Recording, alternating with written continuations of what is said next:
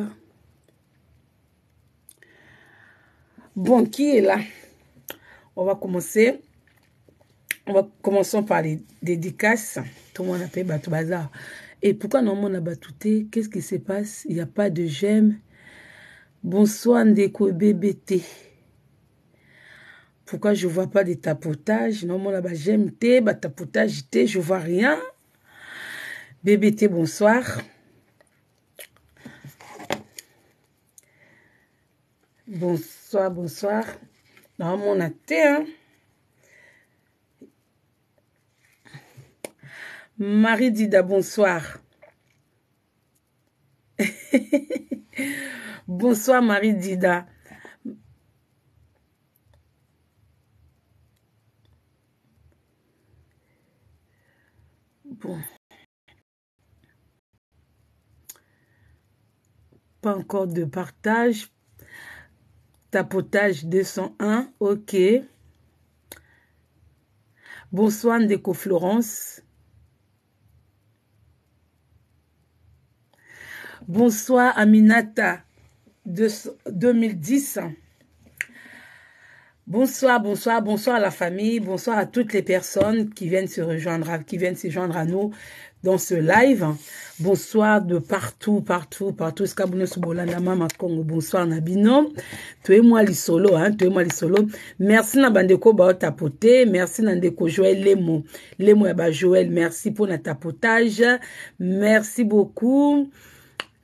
Merci beaucoup.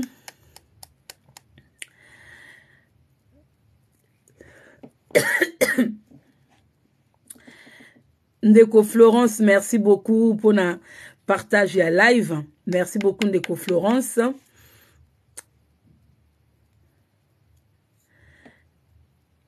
Merci beaucoup. merci merci na bandeko nyonso baotapote live oyo merci na bandeko nyonso baotya ba j'aime en tout cas bandeko na live oyo naza na besoin ya ba ya bacongolais de deux côté na na besoin ya bakinois na babrazzavillois soki oza na moninga ya brazzaville en tout cas tage ye akota na live soki oza kinois kinoise hein? benga mpenza bapapa bamama bakota na live oyo mpo tosolola bandeko nyonso tu botie bakombole ba user na banombre eh, bambote na bino elikia gros bisu à toi gros bisu à toi elikia en tout cas tobenga la famille tobenga bandeko na biso ya babrazavillois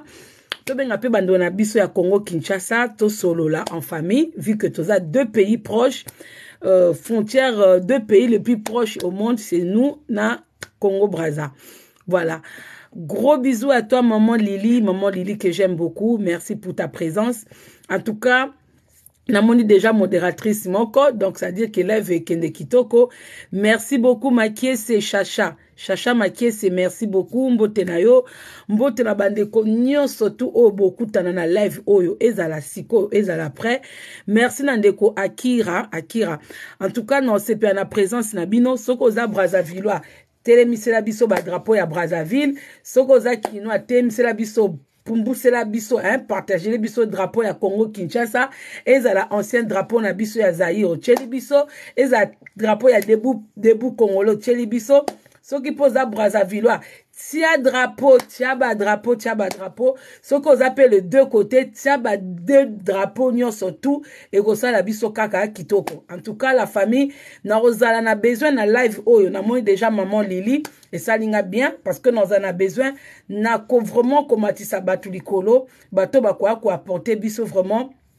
analyse ya kitoko d'habitude bimo boyebi ngai nazala vraiment na habitude ya komatisa matisa bato na balive te mais na live oyo nazala na besoin na matisa ata brazavillois mibale ata na congolais mibale ya bwania ya sagesse hein? ya bato ba, ya bamayele koya kosenga nga komata te soki oyebi ke makambo terre à terre parce que live oyo eza vraiment terre à terre te bandeko mikolo nyonso tout nayoki mawa nayoki mawa toyebi ke congo brazzaville na congo kinshasa eza deux pays différents parce que toza na deux drapeaux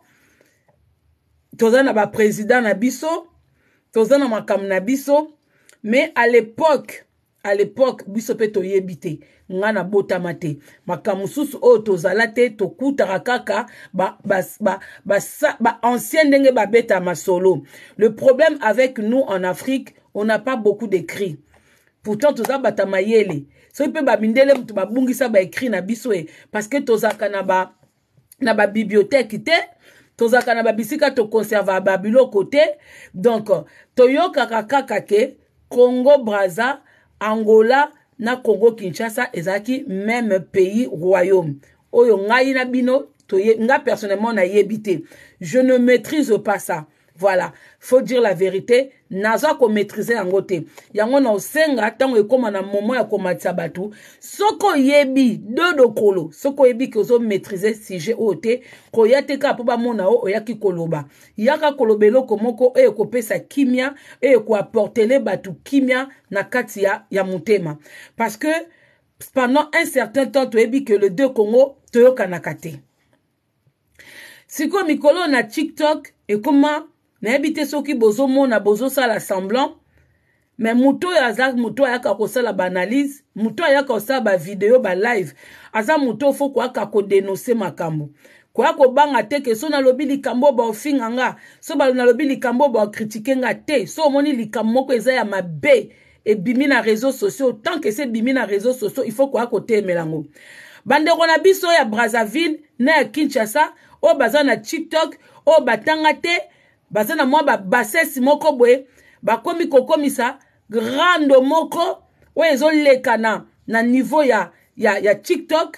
batata mibimba bamama mibimba oyo esi bapwale ekuba bakomi koya koleka kofingana omona congo kinshasa ezofinga brazzaville bazofinga na basi bazogeneralize me soki yo oza congolais ozofinga congo braza finga na yo ozofinga na motu nazofinga konjeze te parce que ntango generalisaka eza mabe pourquoi bino bozo generalise babiso oyo na bafamille na biso toza na bandeko oyo baza mélange naza kaka na kawa na ngai moko te toza na bandeko ebele oyo baza mélange babengana bacongolais ya kinshasa na braza mais jusqu'aujourd'hui toza kaka na bandeko oyo ba, ya, ba, ya bakinois baza kaka na kati ya brazzaville toza na bandeko ebele bazalaka de, de deux côté sikoyo ntango bino bosala babiloko wana na tiktok moto oyo aza ngunda ngunda ya braza nayebi te so bakitaka ngunda ya braza akoki okita nde na gabon akatisi mais la plupart bangunda na biso bacongolais bangunda na biso ngai no namona ngunda ya kinois te akiti angola mpo akota kinshasa bakitaka brazzaville bangunda na biso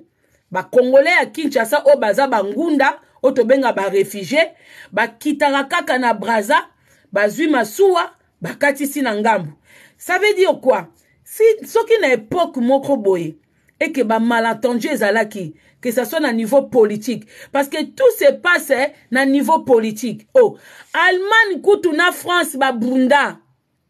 allemagne oyo bomonaka oyo baallemand babeta bafrançais na niveau moko hitler amonisa bato mpasi mais lelo eza rare komona allemand eza rare komona allemand afanda na ye abanda osala live abanda okritike bafrançais abanda olobaki bino bazoluka bamboka na bango esala baalliance mpo na bien-être ya bato pendant ke bato bazokoevolue bazoluka basala bape bazoluka bakimi me bino kutu botiki na bino baprésident na bino bazolia na bango ofu kitoko yo ofandi na ndako no ozoganie smik me ozokoswana sasu kuna aza ne tranquille Tshilombo kuna aza ne tranquille soki kutu namoni congolais azokopupola rwandais nakokoloba kutu quand même ke eza un peu normal mais namona moto aosignale live na nga keba na yo eh. bokeba na bino naza na kati ya buzoba na bino te nayaka biso toza bato oyo tozwaka meme mwa ndambo ya éducation bino soki boteka ba éducation na bino na tiktok mpo boyaka koloba ka ba insanité oyo boyaka ka na baleve ya basexe soki olobi sexe te mafinga na bino eza kaka sexe so bofingi sexe ya bapapa te ya bamama te bosentir bien te to tapote live na ngai s'il vous plaît to partage maximum to partage s'il vous plaît eh? na minute oyo est ce que toza na besoin ya koswana na babrazavilois mpo toganye nini est ce que babrazavilois mutu baza na mboka na biso baza na mboka na biso est ce que na parlement na biso wana babrazavilois baa na kati na gouvernement na biso babrazavilois baza mais ce sont les rwandais les ougandais eh? na minute oyo eh? yebisa nga na niveau politique nani so tobi toloba mpe bien bino bobike mboka na biso eza monene me mboka na biso eza monene me tozokufa na bato ya mboka ya mokie eh? tosala na biso guerre peut-être nayebi te topota na biso na bato ya braza me ntina niveau oyo barwandais baosala biso te ntina niveau oyo barwandais baosala biso te oyo ba rwandais baosala biso eleki oyo tosalana na ba, na ba, na ba brazzavillois bandeko mais ba, ba musicien na biso est ce que ba musicien ya congo kinshasa babonga babonga mpo na bapoliticien ya bakinois bazwaka mbongo na bango wapi na brazati na braza okomona bango kaka na banzembo na bango claudia sasu e eh, machin etu e eh, machin etu e eh. soki claudia sasu te bakombo na kombo bakombo na bakombo ntango bino bozoswana bamusicien na bino bokumisa wana bakenda olia na braza bakenda soki oyo soki na oyo toliaki bien totondaki na bafali na bakusa na banani bandimaki boyoka banzembo wana te pendant ke bino kutu boza na bino ba moins que rien bozosouffrir na bino bozofanda na bino pourtant bato oyo kutu bazali oyo bango kutu mutu fo badefendre bato mpo baluka kimia baza na bango alaise bandeko sikoyo bomona te ke bakoswana na bino oyo bozoswana na tiktok eya na sens ata bino moko ata bosignale live na ngai naza kuna te mais au moins nayebi ke boza ebele na fenêtre bozoyoka sikoyo bino bokanisi so bino boswani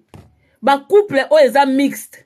bacouple oyo baza, baza congolais na nini boza na couple moko esala bino novelas na tiktok mwasi zairoise soki congolais ya kinshasa mobali congolais ya braza bafinganaka mate midi soir lobi nango bazongani mobali afingi ba, ba, ba kinoise mwasi afingi ba brazzavillois lobi bazongani bomonaka bango te bino bokanisi bacouple nyonso tu oyo efandi wana mwasi moko abala mobali na ye ya brazzavillois ale mpo bino bofingi ba brazzavillois e eh, mwasi wana aboyi mobali na ye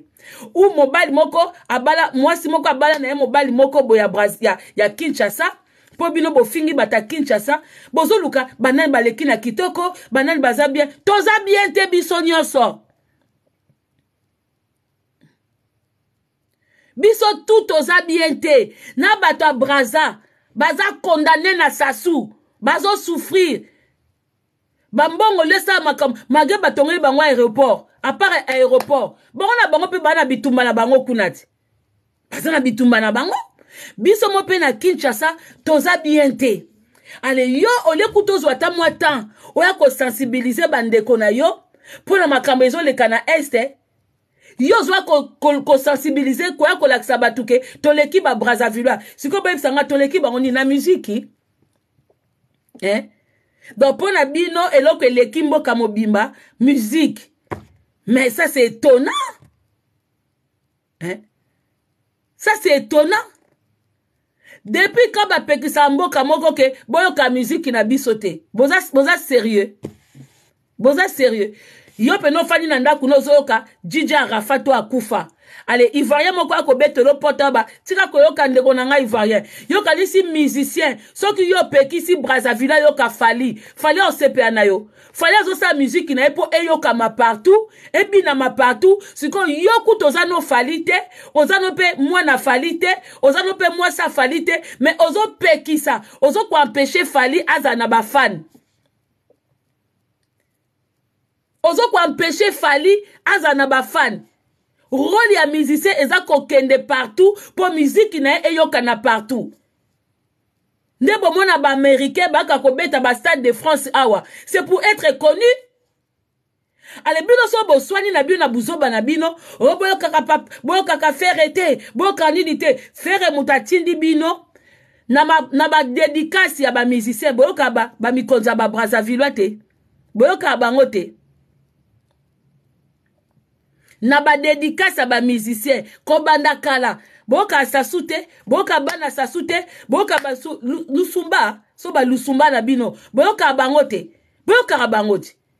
byo bokanisi bamisie na biso basala mbongo na congo basala mbongo na congo te basalaka mbongo libanda so bake concert na brazzaville ale ba pdg wana nyonso tu bahomme d'affaires wana nyonso bamikonzi wana nyonso basafuli bango so bake na bamboka ba, na ba mosusu yango mona musicien so azobima te musicien abongaka te azalaka na mbongo te role ya musicien il faut kobima siko bino boza banani mpo bointerdire bato bayoka miziki ya nkolo miziki ye moko asali miziki na ye mpo bato tu bayoka siko yo bino boza banani so bozoswana na bino boloba ke koyoka miziki ya fere te wapi fere na bino ndeti nga a ah, bafumwa mwela nayokaka yango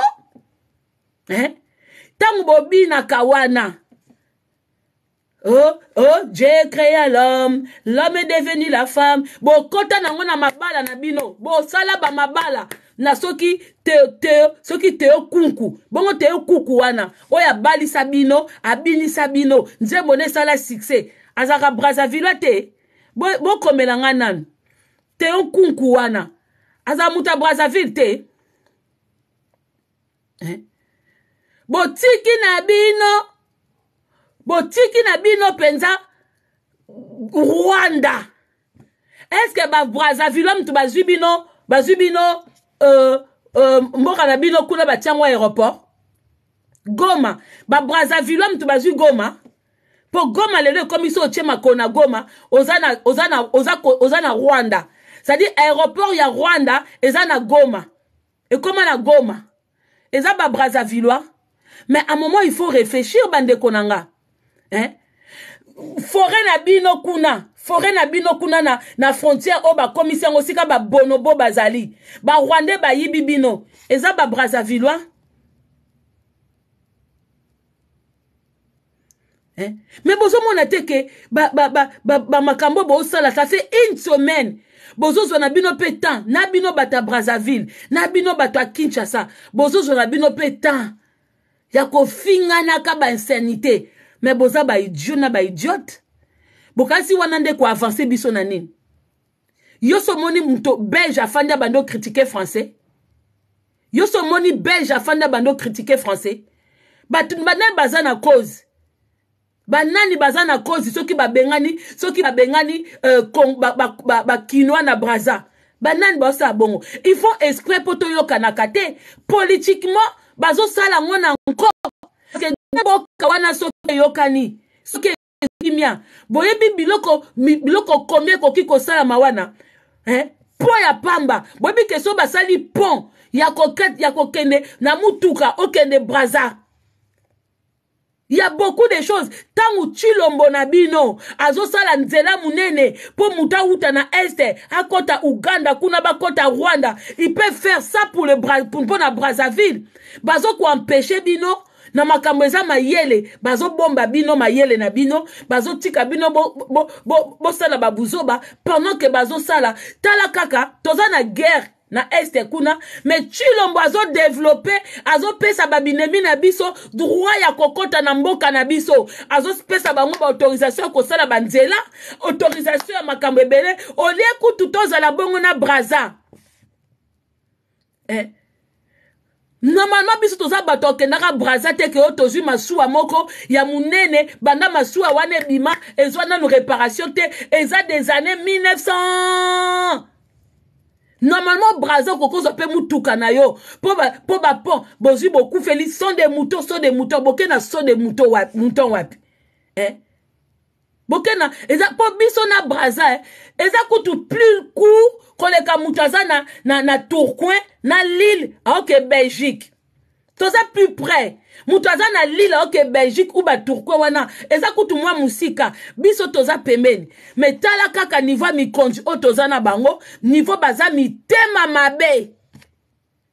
bazolinga bato ba se développer te bazotia bino ba haine moko boye mpo bango na likunini boye mpo bango baprofite na makambo ebele o oh, boma zaiwa tika nyoka qu'est-ce qu'on en a rien à foutre toke na toke nango wapi soki boma zaiwa tika nyoka ezalaki ya solo bongo bacouple oyo ezali bacongo babrazavillois na bakinois ba ba couple wana eza ebele ntango bobake bakinois oyo babrazavilois baya miteya mabe bongo biso toya miteya malamu bongo biso moko toya miteya malamu babiso oyo tofingamaka tozodefendre mboka bato bafingaka biso eza kaka bino bandeko na biso ti nde bofingaka biso ti estce nga so naosala live babrazavilois moto bafinganga u bino moko bacongolais bino moto bofingaka nga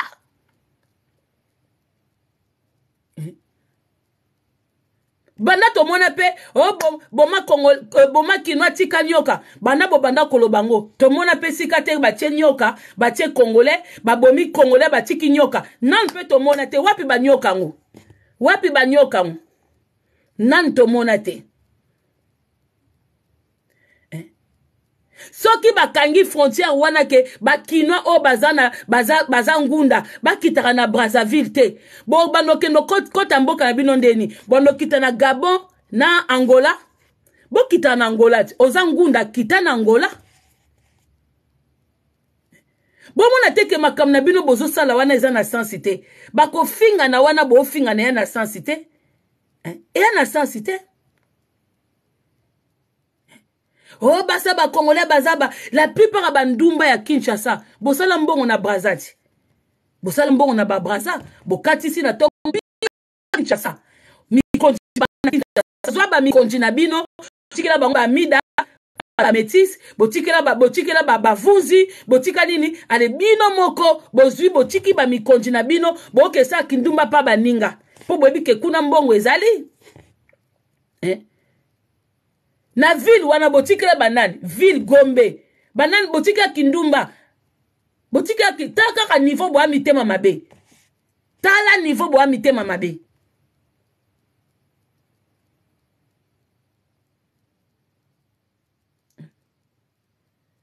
Brazzavilloise ye moko asala ne kindumba azo shina mundele la plupart ba Brazzavilloise basala ba kindumba mindele me bino kindumba na bino eza kokatisa kokeluka basasu bokeluka nini eh, amida na bino basombela ye mama na lopango awa na mwasi ya, ya nani na leki na, na, moba, na mobali nini ndeko ya sasuti eske ba Brazzavilloise baloba yango baloba yango la plupart ya mibala ba brazavillois baza na bino ba congolaise comme basi comme ba maîtresse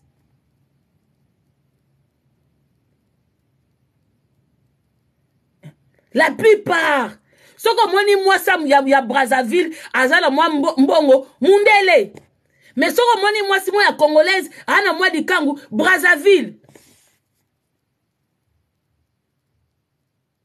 soki mibali yango ya bacongolais bapesaka bino bambongo ebele bokatisa braza pourkui bokatisa braza pourkui est ce que deux pays wana tokozala nde tozalaka kinshasa na, na braza tokozala nde tozala te bosakana biso tolekisa batemp eh? tolekisa batemp soki allemand kutu bayokana na ba français ba anglais bayokana na ba na ba na ba néerlandais soki irlandais wana so ba néerlandais so babenga bango na bino est ce que bino botanga histoire bino penza namona ke bino botanga est ce que école ya Congo batangisaka bato nini bino bitumba oyo ebima na Europe boyebi yango te est ce que ba européen bazali bato moko bakokosolola eh? eske soki botunaka ata bana na bino ko bandeko na nga bwana poto bana bino bazotanga soki omoni mwana aza ata na livre mabe na bino baparent ya bacongolais ata balivre bana botalaka te botangaka te soki outi kaka mosala olembi olie fufu na yo okoti na maboke okoti na youtube oke kotya bacommentaire esika bazofinga me makambo ya malonga botalaka te soki bino bomoni ke biso na babrazavilote okosala pe te tokokolokana te sikoyo boye eske boyebi makambo eleka na europe eske boyebi makambo eleka na europe bitumba oyo eleka na europe awawa eske baeuropéen bakoki kokoma na niveau oyo non namona te ke français ake kosinstalle na belgique belge arapele eke oza ya biso te zonga na mboka na yo ça se passe ke installe na belgique belge arapele eke oza ya biso te zonga na mboka na yo ça se passe ke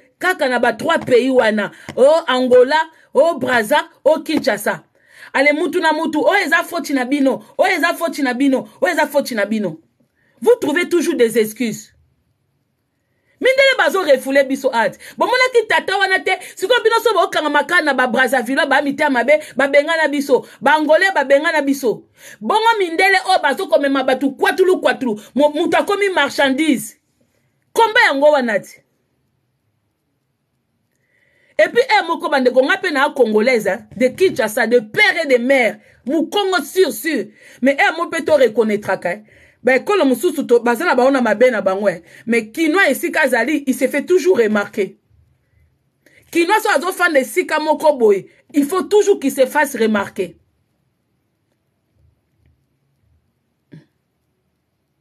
bazombo bafanda mpa na biso eske tozwa bazombo mabe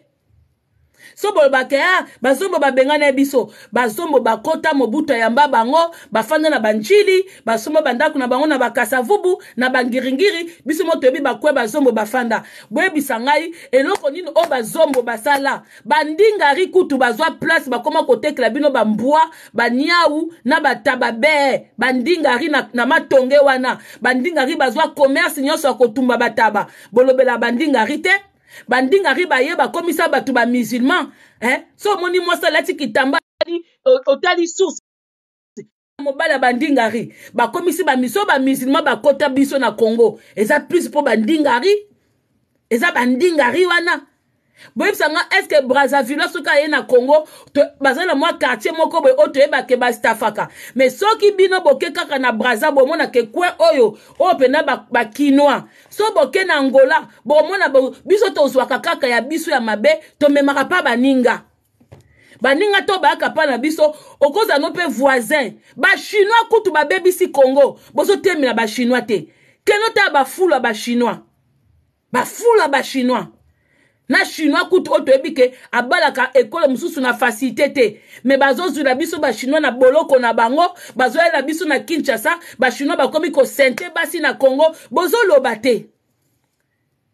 sikoyo so bozofingana bogeneralize bo te mpo biso toza na mabuzoba na bino te toza na buzoba na bino te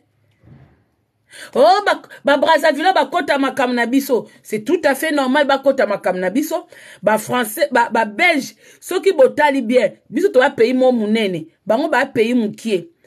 eloko nyonso eleka na réseau sociaux bongo ntango totalaka batelevision ya mindele totalaka bafrançais totalaka information oyo ezoleka mpa babelge un moment il faut koreflechisake bolobaka makambo na blage te osoki eloko ebimi na réseau sociaux ekipaka nationalité te moto oyo amoni ke aza apte akolobela yango alobeli na yango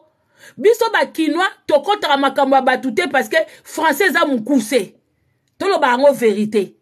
eza des gens oyo basexprimaka bien parce que congolais akenda nde kosala barecherche ba, ba, ba te congolais aza nde limite sikoyo soki motu aza limite te azotala makambo ya bato neti babiso makambo ya makoso mpe defa tokota yango me mona olobeli noka bakino na lingala bango bayoki te babiso oyo bamama gisele toswana na makoso areponda biso mpe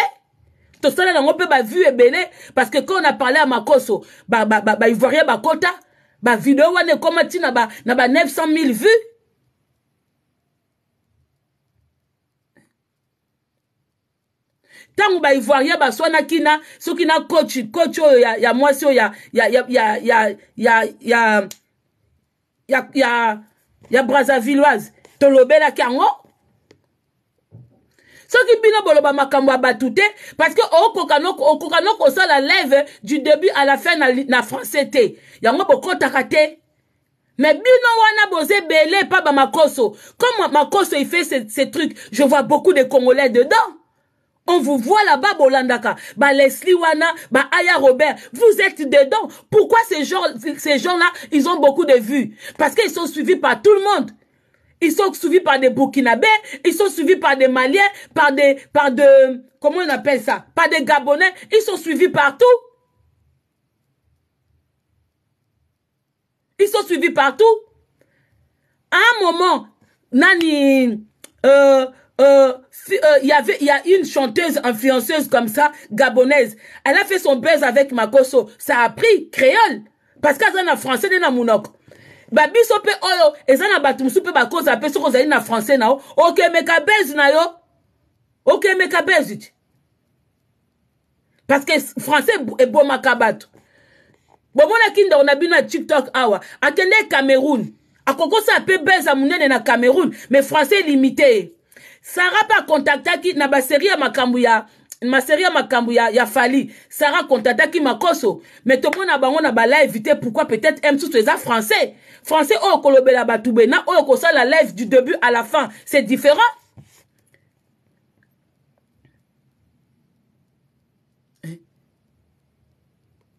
bandeko na ngai euh, kimia kimia na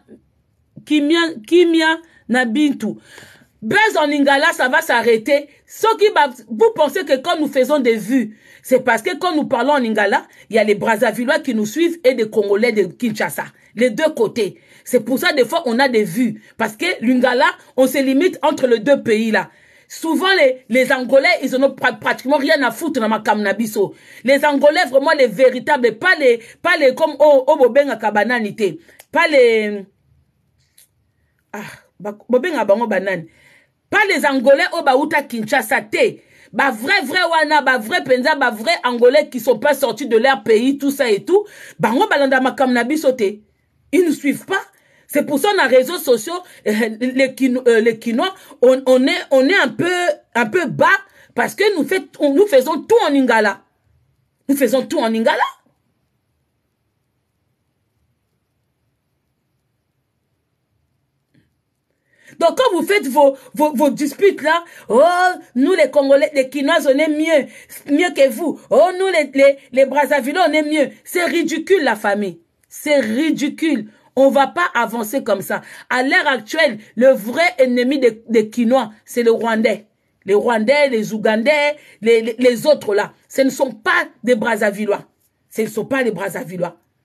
À l'heure actuelle, même s'il y a une Congolaise qui est mariée avec un Rwandais, elle se cache.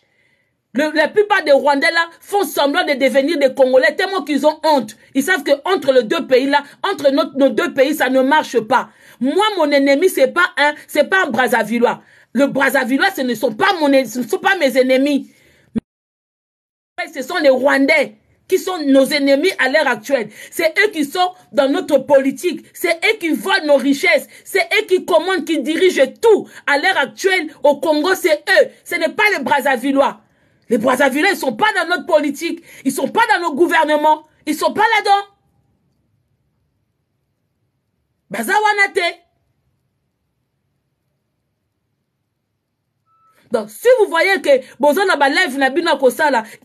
l'inspiration vous manque, parlez de vos familles, parlez de vos nourritures, parlez de vos sexes, comme vous avez l'habitude de parler des sexes, mais arrêtez de donner l'image comme si quoi on va se, on va s'entretuer. Arrêtez de donner l'image qu'on s'aime pas. Si c'est vous-même qui vous aimez pas, nous on n'a pas de soucis. on en a rien à foutre eh? na, pro, na verbe na proverbe na bino boma zairoi tika nyoka on s'en fout de ça ça n'existe plus et puis on n'a jamais vu ça que il y a un serpent là il y a un congo un kinois là et que tomoni ke brazzavillois abomi kinois tiki serpent on n'a jamais vu bolakisa biso exemple nango alors venez pas à l'heure actuelle ennemi na biso eza ba rwandais biso toa bato moko olie bakende kosala banzela kuna na este il faut basalela biso ta pont monene na braza il faut braza ezala te moto akende mpe na 6 heures na 6 heures 30 azongi na ye nous devons pas seulement eza mboka moko on a seulement juste il faut kaka masuwa sa masuwa bato baokatisa te c'est n'importe quoi na sasu na chilombo na kingakati bandoki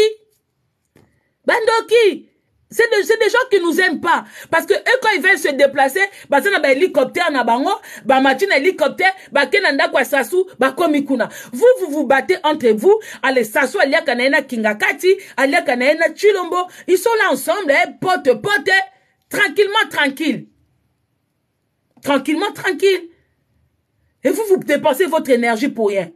babiso oyo towana bacamarade ya babrazavillois alors so bino bolobi boye nde totiki bango tomelaka na bango bia tokos ndeti nga mpenza baza, baza ebele baza ebele nakokoswa na bango lelo lobi toyokani ebele kutu ya koloba te siko nasala na bango nini eh? nasala na bango nini bato bazoluka baavance ale bino bozotika aka na banini ok sikoyo na bandi omatisa omati ya koyeba makambo ya solo koya koyeba makambo ya mabe te ya kopesa biso eloko moko tosepela koya kolobela biso te ko nini nini boye eza soni il faut kosala bandeko na nga ce que nous on vous demande hein, il faut faire barrage à ce genre de personnes omoni bato ebele bazongisa biso nsima pourquoi parce que balève ya buzoba eleki ebele eleki vraiment ebele quand vous voyez de telles personnes oyo bazokoya na bamakambo ya boye il faut arrêter ça il faut vraiment tokoma kotelemelaka yango toza na, na communauté moko na, na, na minute oyo on a beaucoup eya ndeti bandeko mosusu baza baparent balongwaki kine bake angola baboti bana na bango na angola bana na bango batangi kuna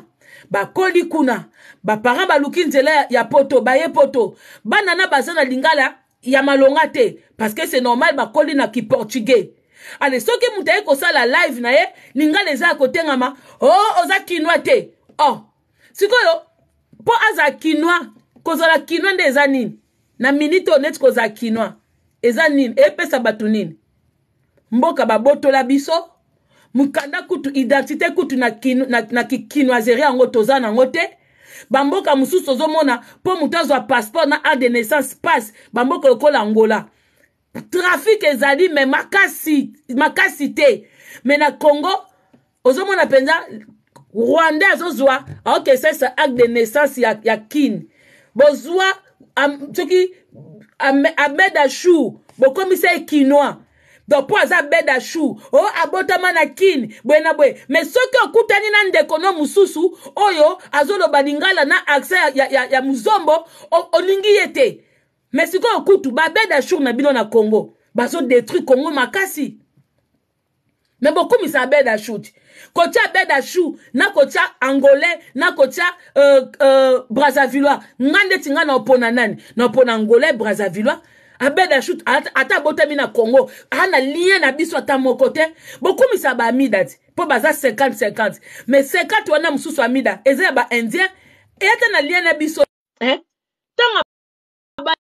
valorisaki bino te avalorisaki indi na ye me sikoyo soki ndeko moko azali 50 congo kinshasa 50 brazzaville bolingi ye te bolingi ye te pourkui pendant ke bozolinga bato misusu pendant ke bolinga bato misusu basenkata mindele bozolinga me ya biso moko toza na bamelange ebele ya brazzaville na bazombo epai na biso bozolinga yango te bozosalela yango guerre bongo bamvuzi bamelange ya bamida nde bozolinga babeda chou nde bozolinga me eza normal te hein? eh? eza normal te sikoyo moto oyo oyo bapara baza brazzaville na, na kinshasa soki aye koloba ke na 50 50 bolobi lokuta oza moto ya brazzaville bolingaka kolata kinshasa so balati kinshasa epesi bango nini soki balati kinshasa epesi neti na minute oyo kinshasa yango ezopesa bato nini toata na mikanda te wapi identité na mboka na biso banda bozali na mai ya pondu ekufa mai ya pondu ekufa wapi identité bokomisa carte de lecteur identité bato baza na baposibilité ya kosala passeport te bato mosusu ti babotama na kinshasa wana ti bakufi batikali kozala na baidentité te sikoyo soko moto alati kinshasa epesi ye nini epesi ye nini epesi eloko te ça n'a pas de sens oyo oh, babenganaki bakinois oui eza sasu boyebi pourkui basalaka bongo eza politike eza politike esika nyonso bato bafandaka mabe ezangaka te na maroki kuna baosala bino boye bolinga kaka kokende ti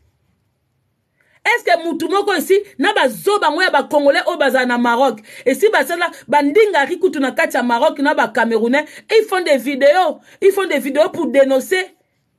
comment les maltraite au maroc Mais bino abo, vous vous appelez les Arabes ici, ce sont vos frères. Ok, mon frère, frère, sœur, frère. Mais vos, vos vrais solo, vos vrais frères sont là-bas au Maroc maltraités. Mais quand ils font des vidéos, ils font semblant. Ah, Maroc, c'est bien. Mais ils sont pas bien. Nous connaissons la réalité. Hein? Cousin, cousin, oh, tu, tu, oh, tu considères un Moundibou toi qui habites Moundibou, que lui-même, il se considère même pas africain. Il se dit qu'il n'est pas africain. Mais toi, quand tu fais tes courses, tu appelles un arabe cousin. Mais quand tu es avec un Brazzavillois, c'est ton ennemi. Quand tu es avec un Mouzombo, c'est ton ennemi. Où allons-nous? Quand tu es avec un kinois, c'est ton ennemi. Yo Brazzavillois, ozomona kinois ennemi na yo. Yo Muzombo, omona kinois ennemi na yo. Un moment, c'est biso tout gouvernement wana. Parce que toza binemi te. Toza trois pays proches. Toza binemi te. trois pays proche otiki no trois pays wana oke na yo mosika kuna cousin cousin ngo ya, ya kindoki ya, ya, ya butu ya saint esprit toyebi te yango bozwa na nzambe na bango bozwa na jésus na bango bokomisa bango nzambe na bino donc bino boza bidefadefa ya bafrere ya bato ya banzambe ya bato ya bakousin bato donc yo mutu mwindu odefaka no kaka biloko ya bato odefaka banzambe ya bato bilamba ya bato olingi obala obali lokola aladin aladin aza na ye genie moko ya bandibu olingi obala olati bilamba ba, ya bavuzi ya baindien okomi na yo moto ya baindien bamaputa na biso ata biso te moto otongaka yango mais eza quand même identité na biso otiki no kinois otiki na yo euh, euh, brazavillois otiki na yo muzombo okebenga moto aza nde likolo kuna cousin trouvez ça normal quand vous vous insultez comme ça vous trouvez ça normal Quand vous vous parlez comme ça, vous savez pas que nous avons, la nous avons des, des familles dedans hein? ntango bosala badirect na bino ya soni wana boyebi te ke bato mosusu balandaka bato baza na famille bafamille na bango eza recompose boyebi te ke tozala na baninga hein boyebi te neti nga na kenda braza moi j'étais bien reçu j'étais bien namoni kutu non ba norme ya braza kutu c'était mieux que na kinshasa bandeko nazokatisa braza na, na beach na biso na, na peta ba plomb j'ai craqué je voulais laisser bakoma osenga ngai o oh, carna vaccin nazwi carna vaccin poto babi te ya poto te ngai bi papa bongo na bino awa na ngai moto nauti poto nazwi bavaccin kuna ok ya pas de souci comment je vais faire pour obtenir votre carnet de vaccination o oh, faut ofuta mbongo ngai bi mbongo sans, sans faire le vaccin Oh, ce qui 10 dollars sont 5 dollars. Gabi, bon. Maintenant, le carnet de vaccination que moi j'ai ici, là, pour l'obtenir, j'ai pas payé. Au même fait le vaccin tala nanu mboka oyo bino bokumisa bomona yango elengi nga naza na carnet ya vaccin na nga oyo nafuti na, na, na, na vaccin au fait batie nga vaccin après j'ai obtenu le carnet mais bango mpa na bango c'est-à-dire que je paye sans être vacciné sikoyo wapi logique oma nini après tokomi na moment moko ya fouille il faut bafouiller avant tokota masuwa ok d'accord moi pour moi je sais que c'est tout à fait normal qu'on nous fouille nakokoza mpe na biloko ya mabe epuis basi yango baloba na bango o oh, euh, mpesa mbongo ya madeso ya bana je dis euh, pardon euh, olobi c'est quoi mais je viens pour être fouillé non il faut payer c'est à dire que afandi wana elle ne fait même pas son travail donc je dois payer pour ne pas être fouillé tala nanu logique ya mboka wana mutu pasi wana mboka obetela tolo bandeko na ngai to bobeta tolo na kini ngai nayebi te bobeta tolo na kini papor akwe bolandaka batiktok wana bafille batakini baosalela bino akesoma mabumu na ye na salite en plus de ça bwenza ba potopoto ya mabe baotiela biso na tiktok wana vous vous connaissez mama fuye ngai bo so nazalaki clandestine so nazalaki assassin naokotisa biloko ya mabe naokotisa putulu yo ozosenga nga mbongo fuye nga e hey, mama ndenge oza noza na putulu ngabi yo moto okopose nga question ou yo moto okofuye nga je paye l'argent boyebi ke mpo nazwa masuwa wana combien je debourse je paye mais le jour que je suis arrivé na braza quand je suis arrivé à Brazza, ce n'est pas pour faire plaisir na bato à Brazza et la famille. Loin de là, na kenda Brazza qu'une fois, quand ils ont eu leur problème de pila, vu que nazaki na nina ONG nanga, na ipe na besoin ko sala ba ONG nanga pe ezo ba partenariat. Donc j'ai profité, on m'a conseillé babi non que non ko sala don na Brazza, ça va t'amener aussi des trucs. Bande kona kenda kuna, batulinga kaka biye eh, biye tofutaki omona baza na mwa logique na bango moko na mutu même pour retourner même pour retourner tokomi na beach na bango séjour na biso ya 2 3 jours eleki bien tokomi na beach na bango il y avait pas de tracasserie tike na yo kaka na badocument oyo esengaka balaisse passe pwemba tokoma sikoyo na kinshasa encore la famille ah! ka mwa maputa tosombaki na mwa bawenji wana brazzaville eluke biso baproblème mama papa tosadi mboka mobimba ozokende il faut toujours avoir des petites coupures mpo oyebi ke kuna mbongo kaka na mbongo alo bino tobobaka bozokomikumisa kozala kinois ngai na mikumisa kozala kinoise te mpo mboka na eza mabe ese ebeba nango ese ebeba eh? ata mwa logike ya mokie na kini ezalaka te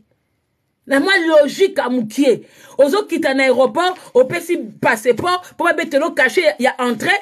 moto aozela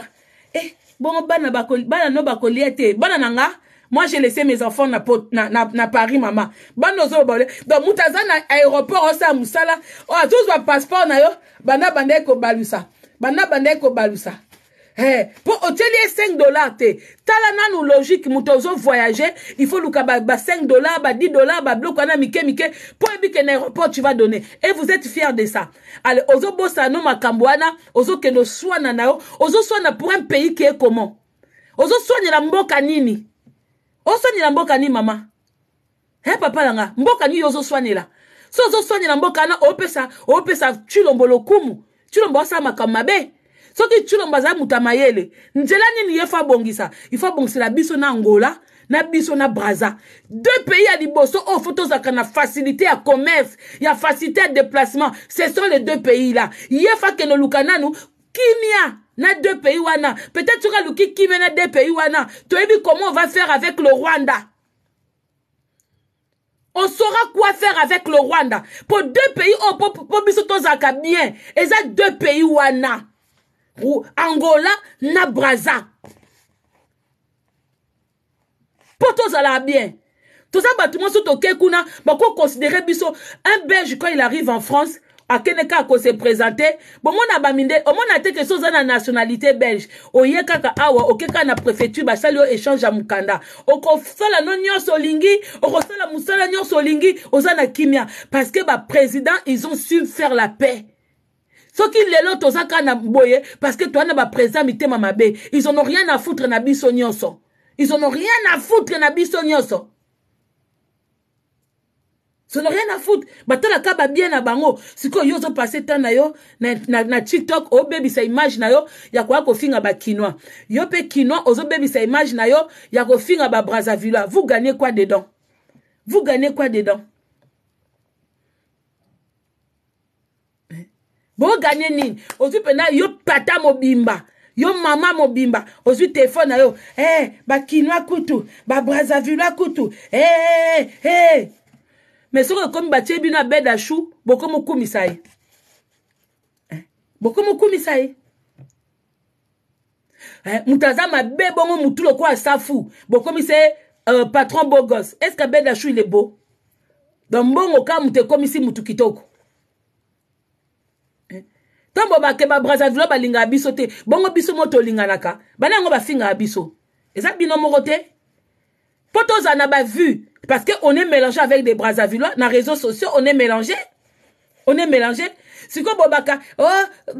babrazavila ba bakotaka makambo na biso on vous voit chez makoso nga nayebi bakonte ba, ba, ba nyonso to ya bacongolais ya kinshasa oyo bakenda kotia mako omona mpenza ke baza mpa makoso bajeme bazosala bapartage boya mitema mabe eh?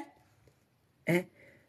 boya mitema mabe tomona bino boyebi histoire ya baivoirien tout arrete de faire semblant ke bato mosusu bakota makambo na biso bino mpe bokotaka ya bato ti tomonaka bino mpa aya robert tomonaka bino mpa balesli nga mpena nakota na omona bacongolaise mpenda na bacongolais bozwa bongo boyebi makoso ndeni si vous vous, vous vous mêlez pas des histoires des autres comment vous connaissez les makoso comment vous connaissez apuchu Comment vous connaissez Apuchou et les autres Si vous ne vous mêlez pas des, des, affaires des autres, comment vous connaissez ces gens-là Vous les connaissez comment Parce que vous, vous, les, vous les regardez hein? neti moto okwa makoso nde aza mabe bongo soki azalaki kinois nde si bobanda kofinge kala me ta nde bokenda kokumisa ye alors soki brazzaville aza na besoin asomba makambo ya bacongolais akosomba yango akolobela yango na bien a na munoko na ye histoire eleki na réseau sociaux akobeta yango kitoko oui abeta yango kitoko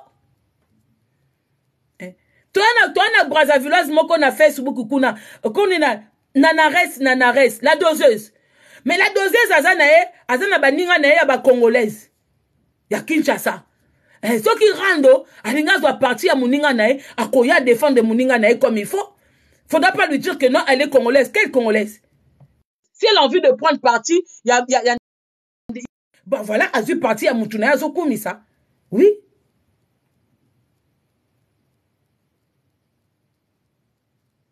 azwi parti ya mutu na ye biso mpe totalaka baninga eh? yango bomonaka soit disant bato bomona bainfluences na bino bazo koavancer te parce que manque ya français toloba yango bien même si nous aimons lingala mais na réseaux sociaux eh, le, le, la langue française ezosala ke bato balanda si tu as envie d'être compris par tout le monde mais atobaka monoko na biso ya kitoko monoko na biso ya kitoko mais quand tu pars au travail tu ne vas pas chercher le boulot en parlant lingala Tu ne vas pas faire les affaires en parlant Lingala. Tu vas faire l'effort. Parce qu'il n'y a que deux langues qui fait que les gens se comprennent, le français et l'anglais. Surtout quand tu es dans le business où tu apprends le français, ou tu apprends l'anglais. Voilà. C'est les deux langues les plus puissantes. C'est les deux langues. C'est pour ça, tu vois, vous voyez, il y a de, il de boulot où on demande à la personne d'être bilingue. Bilingue. Par exemple, quelqu'un qui travaille à l'hôtel, qui est réceptionniste que au moins quelques langues au cas parce que dit qu'il y a des étrangers qui vont arriver. Quelqu'un qui travaille à l'aéroport, on va lui demander des langues.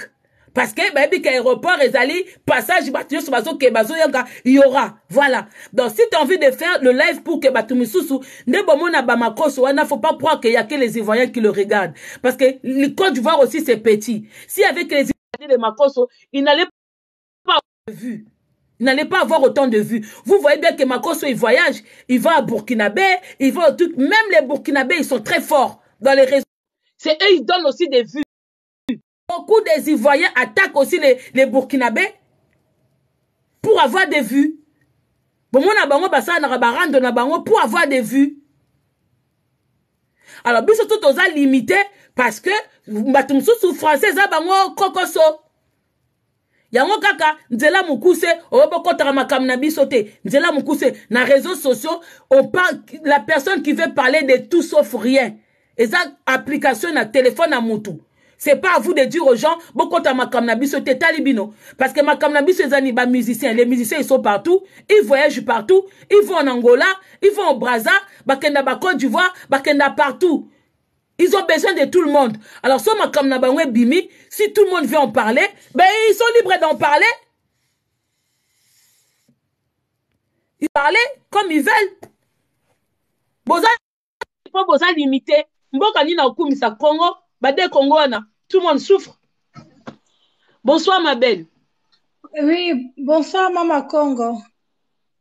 Bonsoir ma belle Elena. Voilà, bonsoir maman Congo, nazo yo vraiment temps ebele te. Premièrement, nazo féliciter yo vraiment na sujet oyo na émission osali vraiment eh, ya lelo nasepeli vraiment ya mingi parce que makelele eza ya trop na réseaux sociaux mbutu mbutu ekoti orke toza entre nous un seul peuple Congo Angola eh, Congo Brazzaville na Congo Kinshasa nazomona koswana wana ka ndenge olobi bokota makambo na biso te ngai moko kutu ngai nakota makambo yango na nko parceke afrike eza nano continent na ngai naza petite fille ya afrike yango ozomona nakota makambo na nko vraiment marke tu bapusaka ngai mama kongo nasibaka eh, eh, babanene eh, jafe humiliation voilà mm. humiliation ebele na, na, na ndenge nazali na, na, na kati ya bacongolais ozomona o oh, angolaise mais elena si de fois tu as du mal à t'exprimer en ingala il faut lobaka ata loba euh, kiportugais parce que ya beaucoup ya bakinois baleka na portugal na, na, na angola basala ah. rassembla awa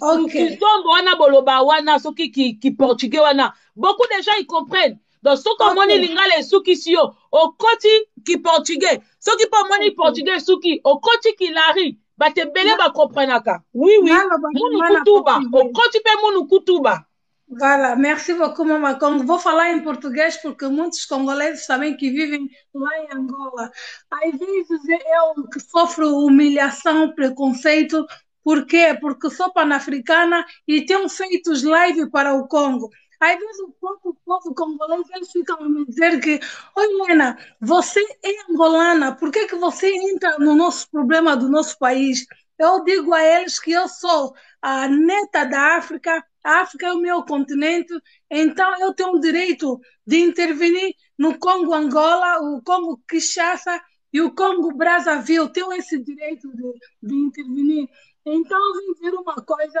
vamos tirar esse preconceito a nossa guerra não é entre nós, esses três países, não. A nossa guerra é com o povo ruandês, porque o povo ruandês é que são maus. O povo ruandês é quem está a nos matar. Então não adianta nós nos matarmos a dizer que ah, você é do Congo Brazzaville, esse vem dizer você é do Congo Kinshasa, o outro vem dizer que você é de Angola. Agora, como é que nós vamos combater o inimigo? Os músicos congoleses, eles vão lá atuar em Angola, a Dias, o Fali atuou lá, o Kofi também passa lá, o Henrique estava lá em Angola, o Fabregas e os outros.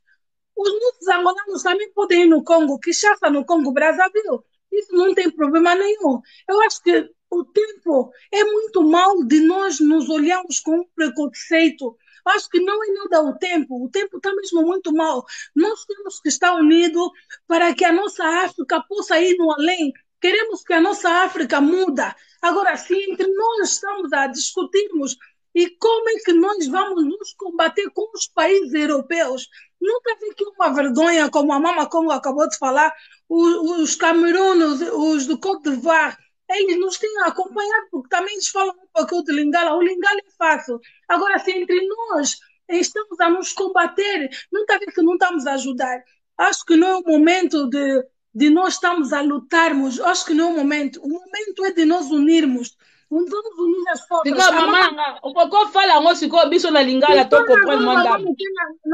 nazoloba mwa moke na lingala ngai Mm. napesi message boye ke ntango ezali vraiment mabe makasi opesi message ya kitoko tozobeta batolo o ngai naza ngole o ngai naza congolais pourquoi nyonso wana tozobeta batulu na bamboka moko badirigant wana kutu fai tozala kutu ata na soni ya koloba yango mpo badirigant na biso bazosunga biso te basalaka eloko te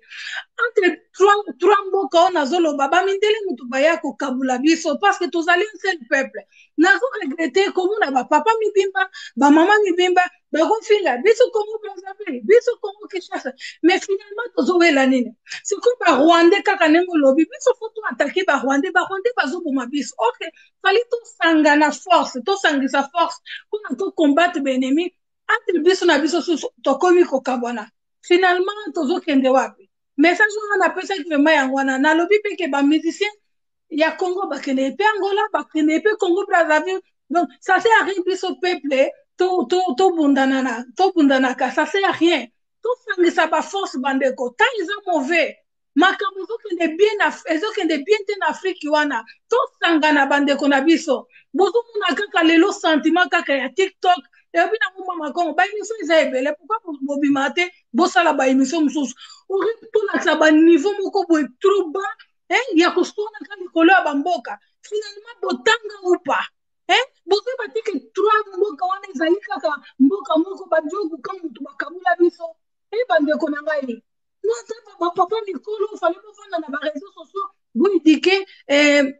génération oyo ezoya bino mpe bozopesa mauvais exemple ça fait vraiment pitié quoi totala nano congo na angola eh, mama congo na congo brazzaville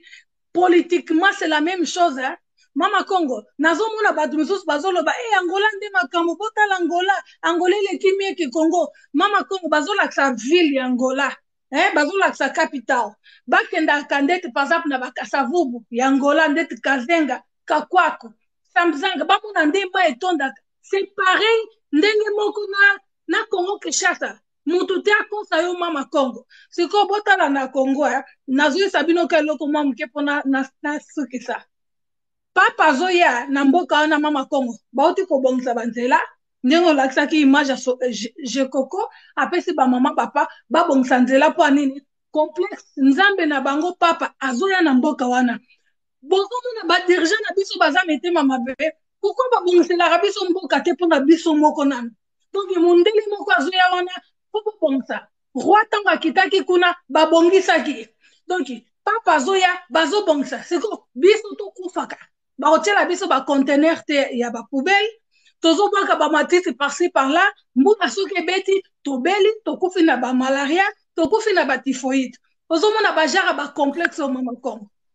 ce n'est pas le temps bandeko na ngai eh, tokabwana ce n'est pas vraiment le temps message na ngai napesa yango wana eh, mama congo merci beaucoup maman elena merci beaucoup merci beaucoup ke eh,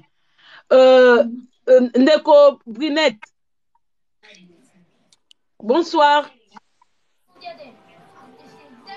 bonsoir ndeko brunette Allô, bonsoir. Bonsoir. Bon, ndeko na nga as, as, Astou Mala, Malika. Malika, pardon, désolé, hein. Astou Malika, mpo ndeko na biso Brunette ayoka te. Bonsoir. Bonsoir, bonsoir Mama Congo, vraiment. Je suis contente de ta réflexion. Ça m'a vraiment fait plaisir de tomber sur ton live et puis d'aborder ce sujet parce que vraiment, c'est c'était devenu un abus sur les réseaux, sur le TikTok euh, précisément, bah, jeune sœur, bah, garçon, tout le monde en train de s'insulter entre les deux pays, alors que c'est des pays au monde les plus proches. Au lieu qu'on on, on s'unisse en tant que peuple, même ceux qui mikondi, baza na bango bien te, bazo sala o bao sala, et le population tozala unie, to lingana entre biso to simba na maboko, to s'entraider, toza wana kaka na ba complexe ya ba étrangers.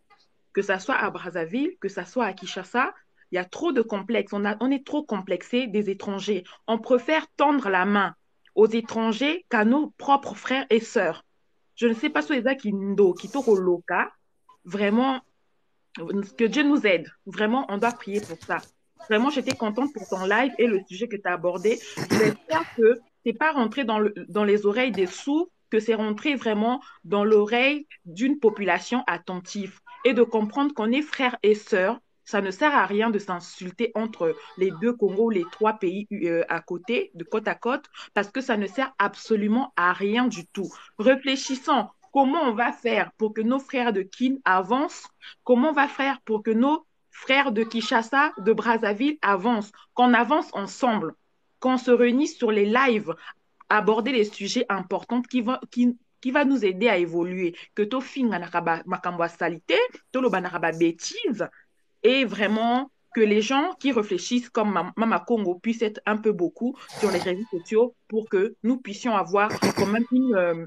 une, oreille attentive et qu'on fasse attention à ce qu'on dit et à ce qu'on raconte sur les réseaux sociaux. Merci beaucoup, ma. Merci beaucoup, ma soeur. Bonsoir, Papa Rock. Bonsoir Mama Congo, bonsoir, bonsoir. Na sepeli makasi na live na yo. Parce que depuis avant-hier, nazo parcourir euh, TikTok, nazo monaka ba futilités. Kuna ba ba Cindy, ba Nini, Congo, Brazza, Congo, Kinshasa, Makelele. C'est ici, en- pour une première fois, tu t'en- c'est depuis hier que tu as fait aussi un live de ce genre où tu donnais, tu prodiguais des conseils. Et aujourd'hui également, na live oyo osali ya comment là en fait ezali live moko ozopesa comment dirais-je ozopesa mbela mpo na unité tozala bomoko parce que nos pays dans nos pays ça ne va pas aujourd'hui ce qui se passe par exemple à l'est en rdc ça nous concerne aussi nous ici les gens ceux qui invitent par exemple bato ya kin savent très bien ici biloko mingi toliaka utaka na kin si Kin est malade nous serons aussi affecté euh, affectés. Alors pourquoi se permettre de se lancer Finga, la alors que les deux pays dépendent de l'autre Ces deux pays, moi je, voudrais nous faire comprendre à nous tous que Kinshasa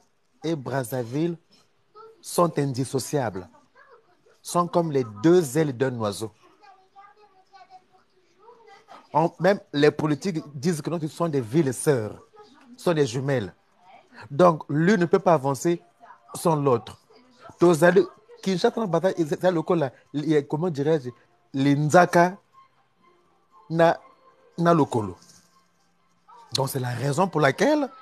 il est question euh, que nous fassions preuve de bon sens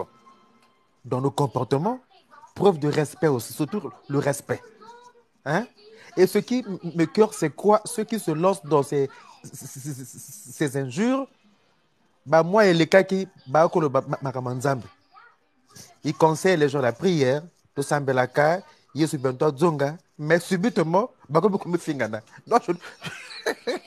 je ne comprends plus oh, hier tu nous as prodigué les conseils sur dieu et aujourd'hui tu commences à insulter biso boye bango boye biso boye mais vous oubliez que nous sommes un même peuple on a les mêmes mots on a les mêmes problèmes on a les mêmes difficultés Donc c'est la raison pour laquelle on doit aller main dans la main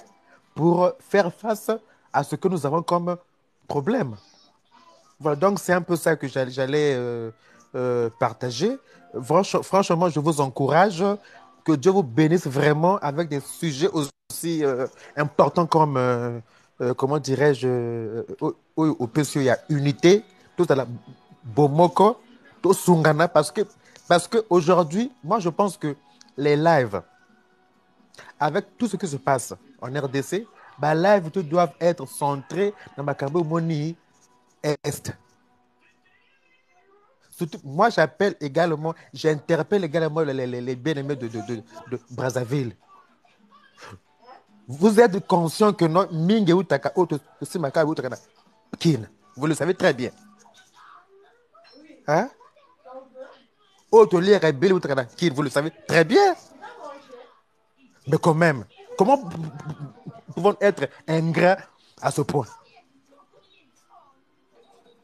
Voilà. Donc, euh, j'interpelle tout le monde au bon sens. Revenons, revenons, revenons au bon sens. Revenons, à, comme la Bible dit, euh, euh, comment dirais-je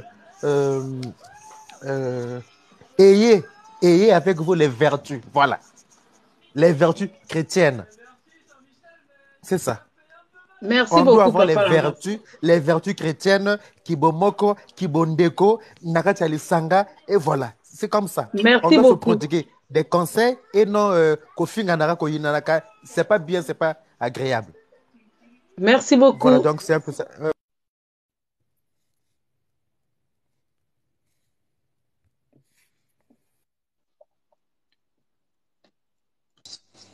Allô, bonsoir.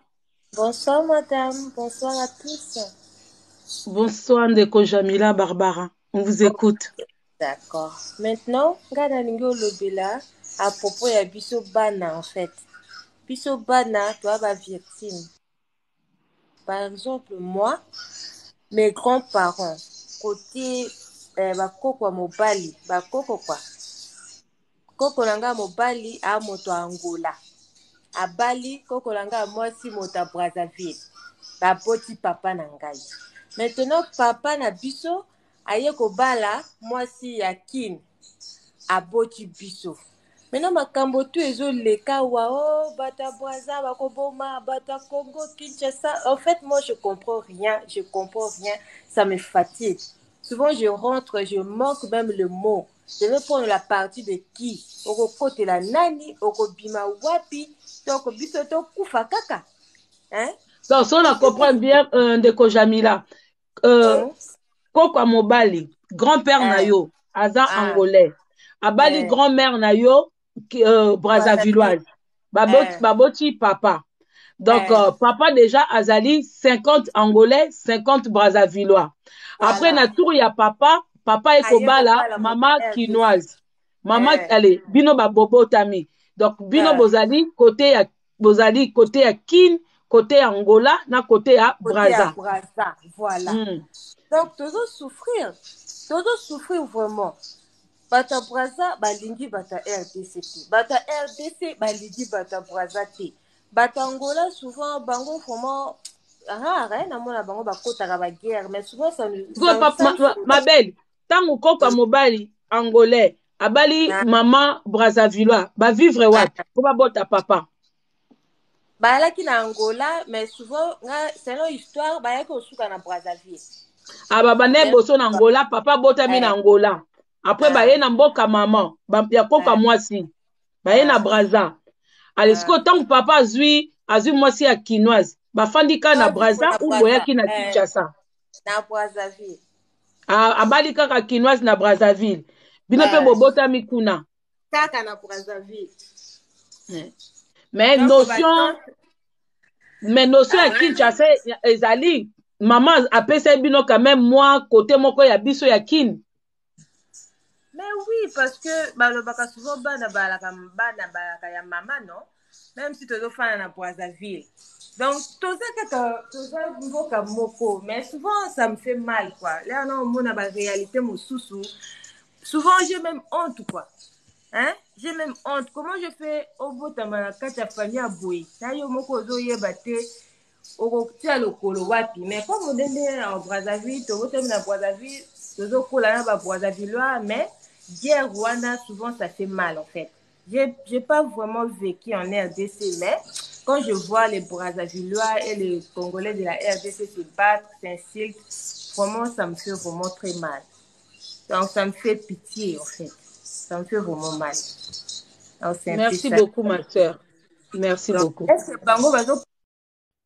Euh, ndeko na ngai moko akomi awa alobi on va pas se voiler la face babrazavilois balingaka biso te la famille soki olobi babrazavilois balingaka biso te moi je t'apprends aussi que les blancs aussi ne nous aiment pas mais on habite avec les blancs on habite chez les blancs kokanisa te ke ndenge oya na france ou na londres ou na allemagne ou na belgique que bango baza d'accord ya kozala ya kozwa yo parce que tu subis aussi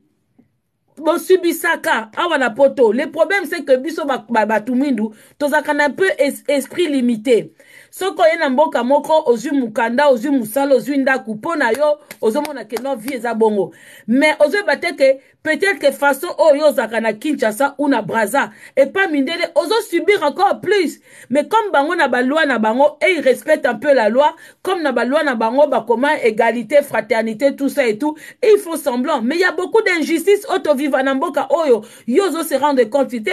eza na ba ville mususu awa wa na France moi je donne l'exemple na ba France awa il y a na ba ville mususu yo mutu mwindu so oke ko vivre kuna mais oza mal à l'aise même si olobi ofongola commerce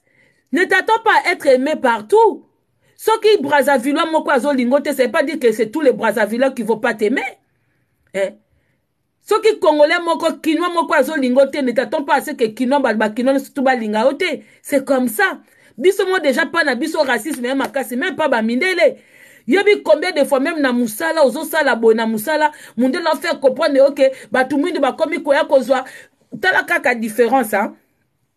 quand le noir quand le noir africain vienne kobwaka ngunda na bamindele chez les blancs qui disent que oui nous fuyons la, la famine nous fuyons les guerres regarde comment on nous reçoit comme ça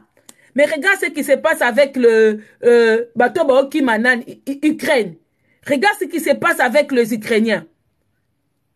Regarde comment on, a, on, on accueille les Ukrainiens.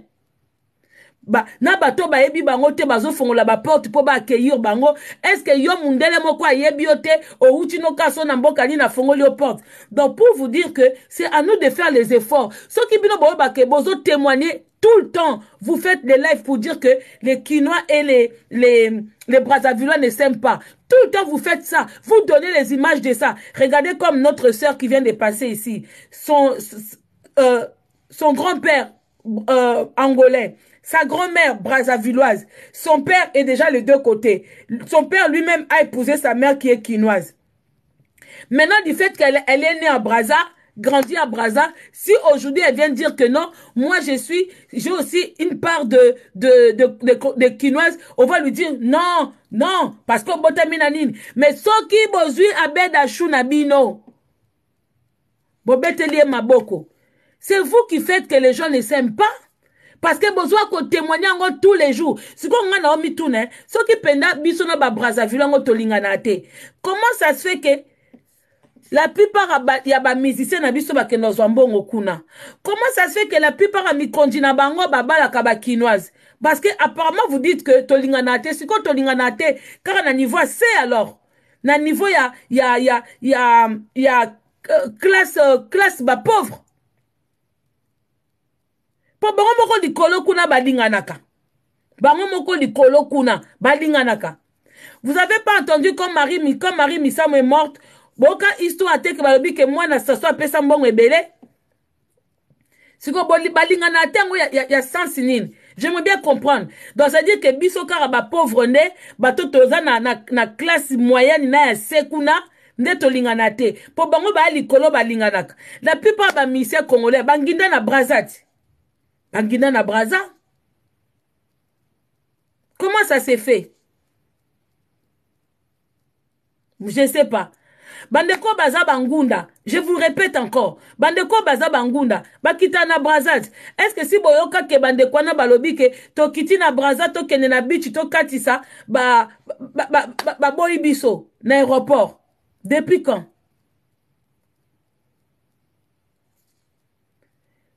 est-ce que mokili ezokoavance il faut pas essayer d'améliorer les choses olie botikalaka na mitu na bino ke tolingana te sikoyo tolinganaka te bacouple mixte oyo eza ebele awawa baliya na bakinois ezosalama ndenge nini ezosalama ndenge nini sikoyo bana oyo bazobota na baunion wana ya katikati papa lia mama kinoise ou mama lia papa kinois sikoyo bana na bazobotama un jour boyebisa bango bapona wapi balinga banani batika banani ça va se passer comment C'est à vous de vous poser des questions. Parce que tolongwe nanu, nanu, toza na problème grave na ba Rwandais. Mais bino, bozo kanamakaka na ba, na ba, na ba Brazzavillois. Je ne comprends pas. Ndeko penda, ozui live na yo. Na kati ya parlement, pre, ba, premier ministre na bino Rwandais. ba ministre nyonso batondi wana apa ya bazoba ndambu oyo bauta epa tshilombo les gens qui dirigent le congo ce sont des rwandais et ce sont les, les, les, les américains qui sont derrière baposte nyonso ya minene wana ce sont les rwandais bato bazoyiba barichesse ba na biso ce sont les rwandais bato bazoboma bandeko na biso na este wana combien de millions de morts ce sont des rwandais wapi sika eske yo so viva oko oh, ba ba ba ba, ba congolais ba ba, kin, ba nani ba brazzaville baboma biso baboma biso combien comparé au rwandais donc yo namoni so batie ndenge ndenge brazzaville alobaka boma kinois tika nyoka yo mpo namoni okoma boma brazzaville tika rwandais okoma bongo qui est venu qui est devenu président na mboka na biso un rwandais hein? j'aurais même voulu que kutu ata mutu moko ya braza kokoma ne président combien de temps on a eu on a eu kingakati kingakati aza rwandais te eh? ntango bokumisaka mida mobali ya mida wana mutu na bango ti kamere wana ile ki oyo ayibi bongo bino mbongo ya 100 jours est-ce que ce sont, ce sont les, les, les, les brazzavillois qui font que mboka na biso esimba te ata balingi biso te qu'est-ce qu'on en a rien à foutre est-ce que du fait que d'être aimé ou de ne pas être aimé epai na bango yango nde moto ebongisa mboka na biso bango baza cause ya kobeba ya mboka na biso moi je pense que eza manque ya savoir na mutu yango nde moto ezotemisa ezo, ezo, ezo bino kaka na makambo ya kinshasa braza kinshasa braza peut-être bino boyebi te mais c'est un pays oyo batrafic esalamaka ebele bacommerce ebele c'est-à-dire que Congolais à Kinshasa, il ne peut pas se passer des Congolais, il ne peut pas se passer des, des, de, de Braza. Braza peut sans Congo, ils peuvent pas se passer. Même si tu as la nourriture, moi, comme, moi, la différence à Colamba, Mickey, Mickey. Mais il y a, c'est comme ça. So boye bakate. Lelo soki de pays wana mbuluku mbutuku mbukutuku. Bosuka wapi? bosuka wapi biso normalement olie kutu tozala na port ya matadi parce que ya des gens mpo na bango matadi ça fait loin pour aller na bacondition na biso mais soki babiloko mosusu ebanda okita na braza na moto aoke matadi na moto aoke braza moto aoke na braza kokobeta ata 20 tour na journée mais moto ya matadi na akomi te eh? pourkui baolinga obongisela biso te donc bino bofandaka kaka wana bokangama kaka tolinganaka te continuez à dire ça aussi à vos enfants comme ça vos enfants aussi diront ça à vos enfants boyebaka etake de mboka wana bayebi pourkui batiaka biso mbulu eke bayebi parce que mokolo kaka de ou kaka trois mboka wana ekokoma unis Quand je dis trois mboka, je mets aussi l'Angola. Mukokoma unis, ils feront des grandes choses. Ils feront des grandes choses. Et c'est ça que les blancs ont compris pour eux. Hein. So batia Union européenne parce qu'ils ont compris hein. bango baza wana bakoma konegocie bacommerce entre bango bakoma kosala euh, oyo aza na eloko boye asungi baninga oyo aza na boye bakoma kokutana kosolola bino boza yango babi motu mwinda ya na retard hein? motu mwinda ya na retard makasi esika biso tozali mundele esa leka bino boza sur mpenza ke biso na ba na ba na ba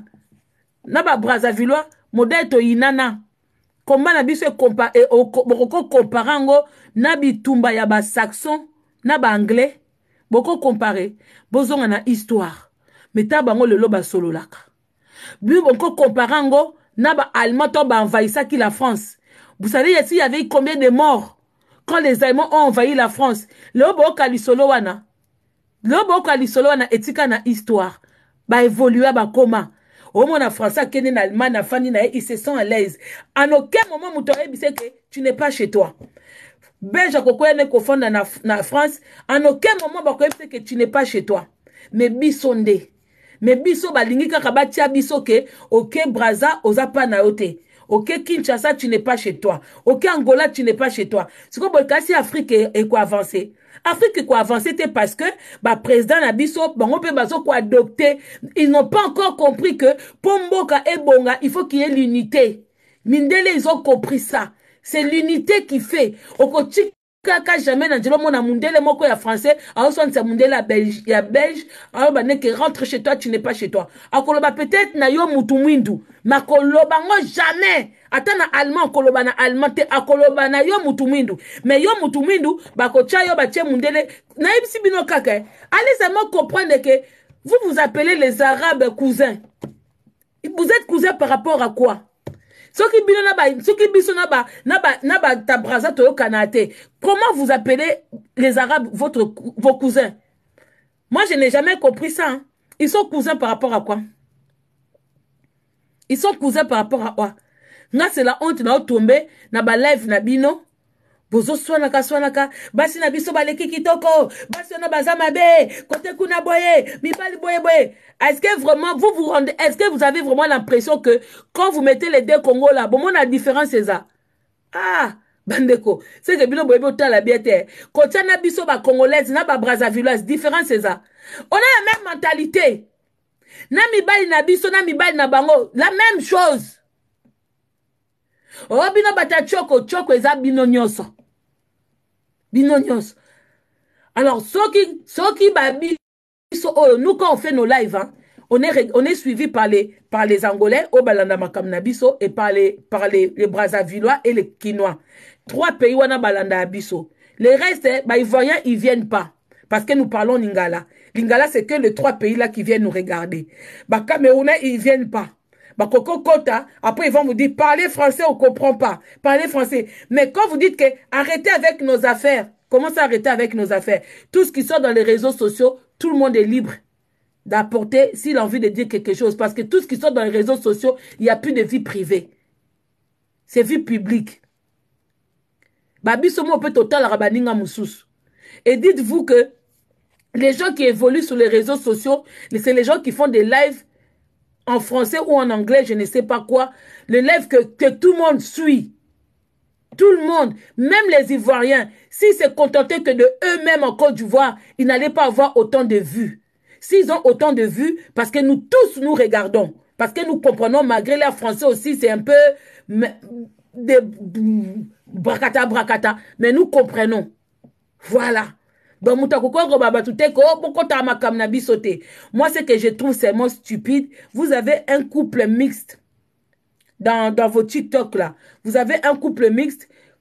Congo Kinshasa Congo Brazzaville et ces couples là normalement ils auraient dû être un exemple bon exemple pour les gens parce qu'ils sont de deux pays mais tu vois dans le live, tu vois le mari qui est de Brazzaville qui insulte les gens de Kinshasa. Tu vois la femme qui est de Kinshasa qui insulte les gens de Brazzaville. Pourtant, eux deux, ils sont en couple. Pourtant, eux deux, ils sont en couple. C'est eux qui sont censés montrer aux gens que nous sommes, nous sommes tous ensemble. nous, nous parlons même langue, nous, nous, nous, avons la même culture, après près. Mais ce sont des gens, quand vous aimez trop la médiocrité, vous vous arrêtez sur des gens comme ça. Quand vous arrêtez sur des gens comme ça, le mari vous insulte et puis vous aussi, vous venez vous insulter. Vous ne comprenez pas que le mari est bête parce qu'il a une femme quinoise, mais il insulte des quinois. Et la femme aussi est bête parce que tu es avec un homme qui est qui est, euh, qui est qui insulte tes frères et sœurs et toi au lieu de remettre l'homme là en, question pour lui montrer que oh, comment ça elle aussi à son tour elle insulte. C'est-à-dire que et comme il buzz théâtre est de chez nous et vous vous aimez des genres de choses. Vous aimez quand ces trucs. Mais nous, comme nous avons la famille, nous avons des amis de tous les côtés, que ce soit Angola ou que ce soit Brazzaville, nous, on ne peut pas supporter de voir quelqu'un qui dit que nous n'aimons pas. Ce qui amis, non? Parce que Sassou mange avec Chulombo. Ah, maintenant, moi, je ne sais pas comment. Parce que les pays qui ne s'attendent pas, les présidents ne doivent pas se parler. Hein. Le président ne doivent pas se côtoyer. Hein. Quand deux pays qui ne s'attendent pas, il faut qu'il y ait fermeture de, de, de, comment on appelle ça Fermeture de, hmm, comment on appelle ça ah, Quand on traverse un pays, comment on appelle ça Oh là là, comment on appelle ça Ça m'énerve, hein. c'est quoi ce mot-là Des frontières, merci beaucoup. Il faut qu'il y ait fermeture. Malgré qu'on est même en guerre avec le Rwanda, mais nos frontières sont toujours ouvertes. Maintenant, à qui la faute C'est vous qui faites vos, vos, vos, trucs sur TikTok en disant qu'on s'aime pas ou c'est votre président qui est idiot Quand je dis que votre président est idiot, vous dites là, oui, maman, quand ne faut pas insulter. Bah oui, quand nous sommes en guerre, un pays en guerre commence par fermer ses frontières. Quand tu t'attends pas avec ton voisin, tu fermes ta porte. Même si ton voisin, il toque comme ça, tu n'ouvres pas. Mais nous traversons Brazzaville il y a des gens qui viennent de l'Europe ici, qui sont des réfugiés. Ils, atterrissent à Brazzaville et ils traversent à Kinshasa. Les frontières sont toujours ouvertes. Donc, il y a toujours le lien de commerce. Il y a des gens qui prennent les, choses à Kinshasa, ils, vont revendre à Brazzaville pour se faire de l'argent. Donc, quand vous dites que vous vous aimez pas, posez-vous des questions sur base de quoi vous vous aimez pas. Il faut vous poser des questions. Vous vous aimez pas sur base de quoi Il y a des couples qui se marient, mais vous dites que vous vous aimez pas. Les frontières sont ouvertes. Vous vous dites que vous vous aimez pas. Les deux présidents se rencontrent, mangent ensemble, hein, font la fête ensemble, mais vous vous dites que nous on s'aime pas. Même nous-mêmes ici en Europe, on a des amis en commun, on a des familles, mais vous vous dites toujours que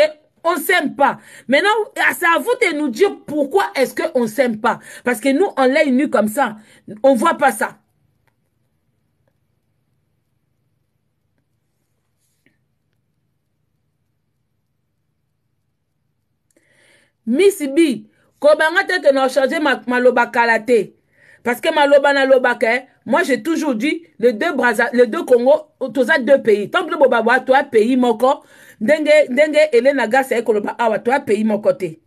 Na Congo Brazza, na Angola, na biso toa pays moko te parce que toa na trois drapeaux toa na trois présidents toa na trois limes nationales toza na banini mais le problème c'est que toza bapays proche on doit apprendre à, à s'aimer parce que toza na il faut toza na ba na ba moyen kosala ba commerce moyen de communication tout ça et tout tobalanaka ndenge ba mindele awa na kala babunda na ndenge bakoma sikoyo ntango obanga na ochange maloba na change maloba na okoma zoba na ochange maloba na okoma zoba parce que na mwa ndambo mayele naza nango je vois pas pourquoi est ce que toyokana te problème na biso eza na rwanda Problème na biso eza na Rwanda. Na minute oyo problème na biso ya bongo te. Eza na bato oyo bino bokanisa te. Oh boma nyoka, boma congolais tika nyoka. Non na viva yango te, na mona yango te, etali nga te. Soki na epoque ya ba koko na biso, bato wana bayokanaki te, biso toza na epoque mosusu. preuve année yango nayebisi bino europe oyo bino bozofanda parce que bokuti yango esi babongisi makambo parce que esi bafanda peut-être vous vous avez pas eu l'occasion ya koétudie na france ou na belgique ou na, na londres ou na bamboka mosusu peut-être boye poto na kimokolo bosali kaka baformation mais biso na bahistoire oyo totanga awa babunda bango nyonso bango nyonso babunda ensemble irlande oyo bomonaka wana ebunda na baanglais babunda soki omoni ke oyebi histoire te kende otuna allemagne ebunda na france ezwa kutu france en otage ezwa france en otage baboma bato bato bakufa ozo comprendre hollande ya mpe bomonaka oyo ebunda hongrie kutu koloba te me lelo eske omona bango babeta masolo wana omona bango babeta masolo wana pourkui mutu tozalaka bazoba yango toavansaka te on avance pas toka kaka mundele moto asala biso be mundele te toza bourrique okochange oh, maloba nachange maloba mpo nakenda maloba yango wapi mpo nakenda yango wapi donc ngai guerre moko na viva te bato bayinana nazalaka te alinga nde naza boye naza na bacamarade ya babrazavilloise nabima mpe na mobali ya brazzaville eh. sikoyo to boba ke tolingana te tolingana te na nini na staff na nga ba brazzaville baza wana eh?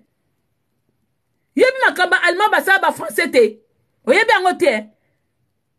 mpo boza ebele botanga na bino te me boyaka kaka kokomantele bato mabe na bino yango wana so bato bazobeta bazosala baleve na bango oyebi ke yo oza na yo moto olingaka kota mafinga parce que niveau ya motu na yo eza niveau ya mafinga bokotaka baleve ya bato te bokotaka te otanga no histoire te parce que osala coupe couture hein, ou osala soki je sais pas quoi kokota makambo ya bato te kokotaka baleva bato te mpo bokopesa bato mitu mpasi mpo bato oyo kutu babunda koleka congo kinshasa na congo brazzaville basalela pe bakoma kolobana bakoma kolobana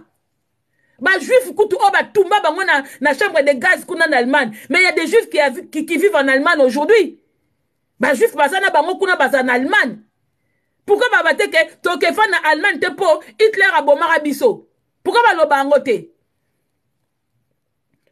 okochange maloba nakenda maloba ngo wapi vous trouvez ça normal deux pays oyo eza na, na, na le monde eh, soki oyebi te les deux frontières les deux pays les plus proches eza kinshasa na braza kende otala karte na yo eh?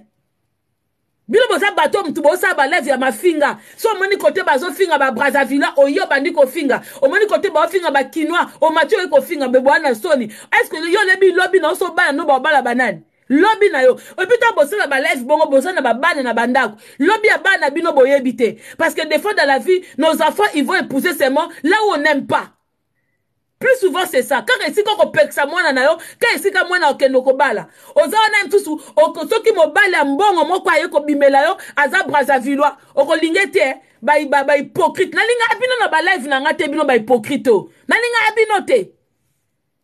ndeti ngai so nakute na mobali moko ya, ya baposibilité ya bie mpo aza brazavillois na oboya ye eh? mpo bino mtu boyo bakete olinganaka te oza sure eh?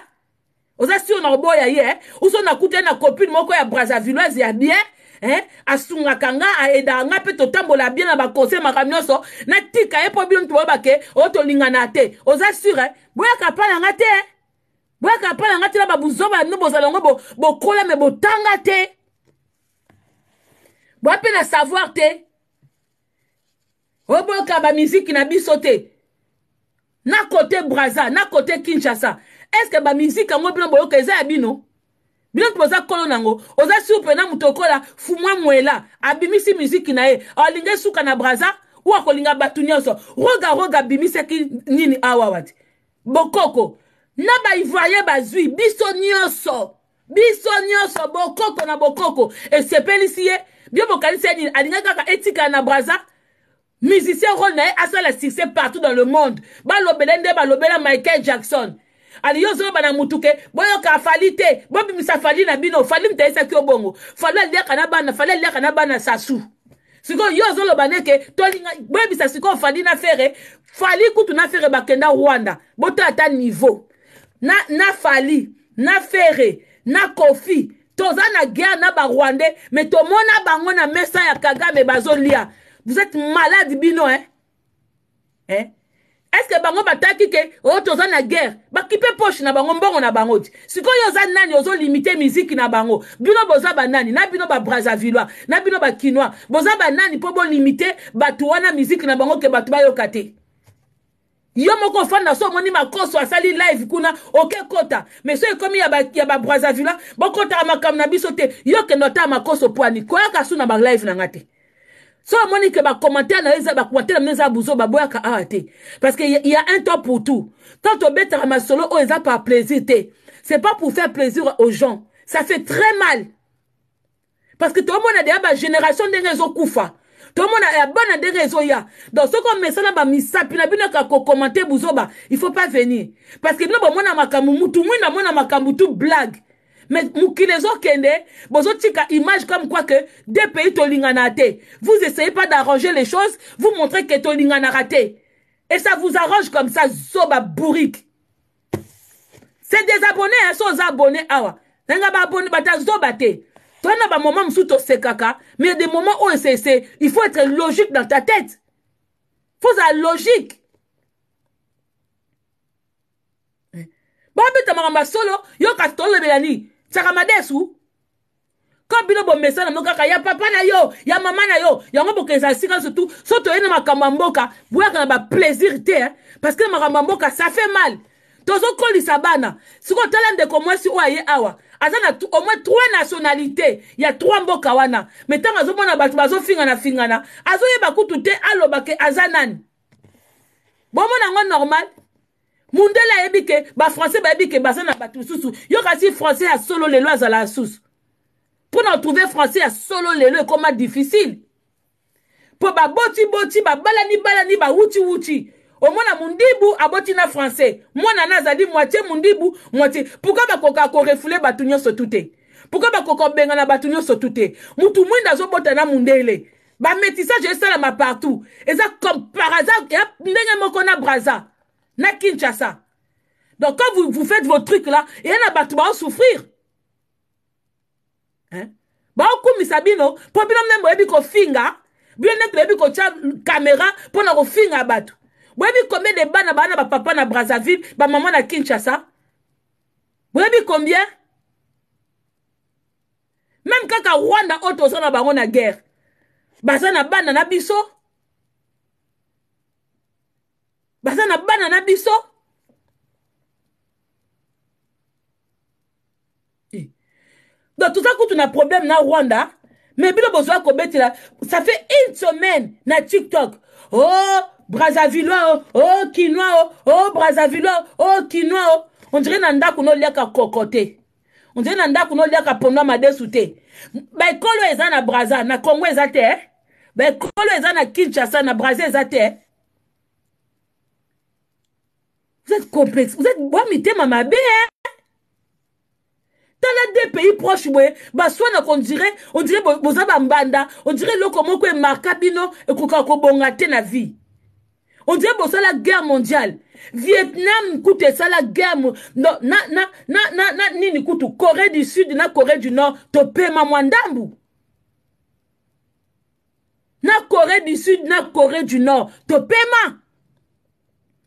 eloko nini esilaka te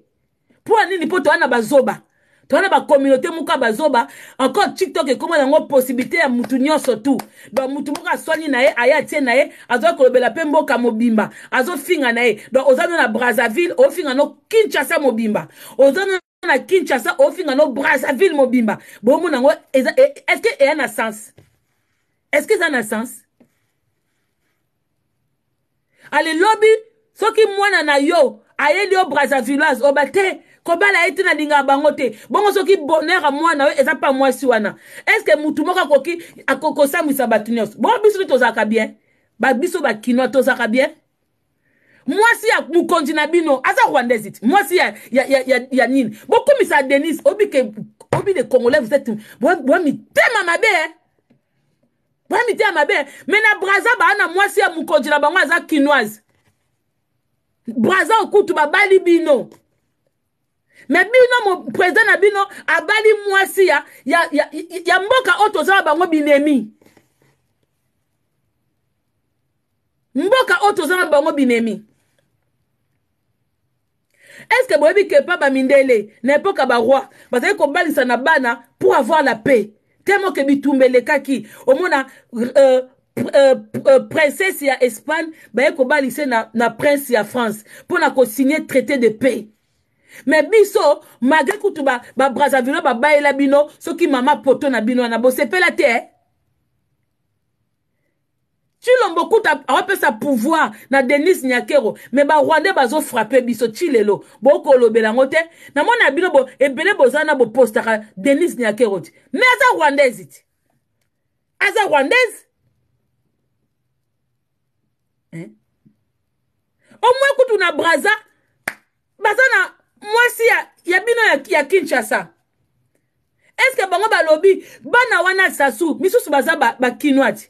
bayaka kosala feti na bango na kinshasa me bino kaka oh, toyokanaka te biso toyoka baeko ke bana sasu baza kuna na kinshasa baosala bafeti ebele basomba ndako na kinshasa ebele basomba bandako na kinshasa sikoyo ntango bino bobaka toyokana te e, e, yango kozala pauvre eza mpasi e oza nanu pauvre na mbongo mais oza su pauvre na esprit kokasa te ke mpo osalaka mosala ozwaka simiki ke tozala na mbongo toa na mbongo te toa biso su bapauvre toa na bamoyen de vivre oyo mondele apesa biso moyen de vivre oyo tozalaka ofuti ndako ofuti bafacture ale ye ke mpo fin du mois esila okomi mpo osomba mwa lopango mwa terrain ifo kota mwa likelemba ifo kota boye donc oza pauvre na bomoto pauvre na esprit matro eh. yo ofandi kaka na motu na oke toyokana te mai bato baza na baovivre na bango kitoko eh. bato baodirige bino bazovivre na bango kitoko saso azovivre ne kitoko ntango saso ayaka na kinshasa asengaka bino autorisation te sikoyo soki toyokanaka te mpo tondima bino bino bato boya na tiktok bobengana sasu mpo sasu ayaka kini mingi bobengana na bana sasu bino bata brazzaville oyo boya na tiktok oyo bofingaka bakinois ke tolingana te mpo tondima bino soki bamisien baye kobeta mpa na bino bobengana bango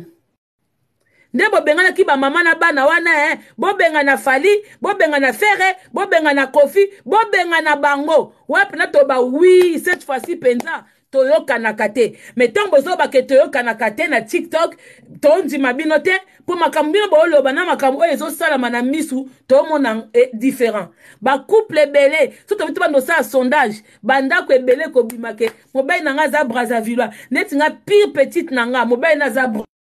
brazavillois belle mare na ye na braza alela ye fort na ndako na ye azanga bambisa okauka te tala bambisa okauka minene abenganga ko mama kongo turo nde belle mare na ngai atindeli ngai te tala kaka belle mare aza na braza mais so kaka possibilité azwi bisa okauka nini mobali ne asufra nani na mibali ya bacongolais aye kozwa kimia na mobali ya brazavillois sikoyo bino bokanisi so bolobi bongo ale ye mpo aza congolaise aboyi mobali na ye bafoye ba bongo eza ebele hein?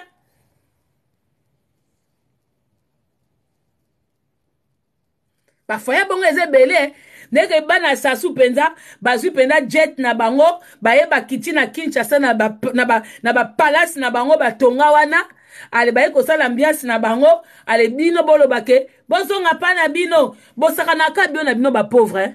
wana eza ba discours na bino na bino ba pauvre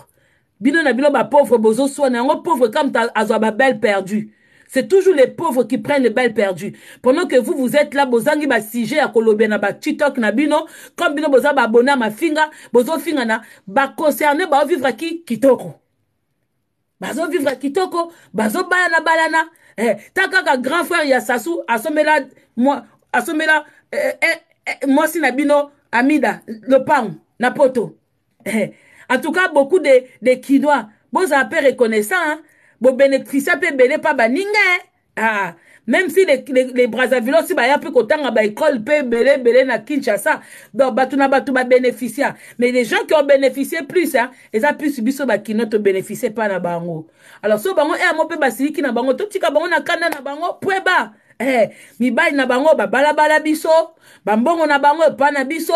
bapresident na bango bapesaka bambongo na bamisie na biso bambongo oyo bafali na bakofi na bato bapapa emba bazwa pa ba, na, na, na, de son vivant oyo bazwa pa ba, ya bapolitisien wana so barogaroga na bango moto baozwa yango nde bazomata eh, nde bazomata e bango mpe babimisaka mingi te me so babimisi kaka mokie tobini yango Eh, baza na bango mutu bato na bato c'est normal ke bango bazala na bamisie ebele te parce que le pays il est petit biso le pays eza grand makambo oyo bino bozocompare biloko mo eza incomparable bango na ndenge baza na bango na mboka na bango ya mokie mwa petrole na bango ça le suffit petrole wana kaka oyo eza na mboka wana ya braza esalaka bafrançais bakitela yango e eh. yango esalaka bafrançais bakitela yango e eh. eh. yango esala ils ont pas besoin d'en avoir beaucoup eh? bibo kasi mboka nyonso tufu ezalaka na baminere ebele bango baza na mwa petrole na bango wana efandeli bango wana total wana yango mtu ozomona mtu ozofinga bato mtu voiture ozopusa essence wana mtu oyebi sika ezowuta te mtu ezowuta nango braza me ofandi ozomema motuka me comme oyebi no histoire te ozo finga mboka moko boye mais peut-être mboka yango ata eza mokie ata eza na ba richesse ebele te mais mwa richesse wana eza koservir bato ebele mais biso richesse na biso eservi nango ta biso moko bapeuple congolais te tosouffrir tozosouffrir donc avant de vous critiquer mutuellement apprenons moi à connaître l'histoire eza deux pays moko ekoki ko se comparer te biso toza eh, munene toza mpe ebele bango baza mokie me na mokie wana nde bosambelaka banzambe na bino bapesi bango ya motuya bapesi bango petrole bapesi bango petrole eza mboka moke me baa na richesse moko ya, ya enorme mundele azotika mboka na ye français atika mboka na azokende ofanda bafanda kuna baza mokie me baza na bezo ozala nango ebele te baza na bezo ozala nango ebele te mwa oyo baza nango wana eza deja ya motuya donc quand vous comparez les deux pays ça n'a pas de sens toleki bango deja na ebele c'est normal ke biso motu fo tokenda mingi kuna parce que bango comme baza mpe ebele te kobima na bango mpe bazala mpe bato ya kobima mpe ebele te yango mpe esika bazalaka mpo oreconnaitre bango mpe eza mwa difficile c'est tout à fait normal eh, c'est tout à fait normal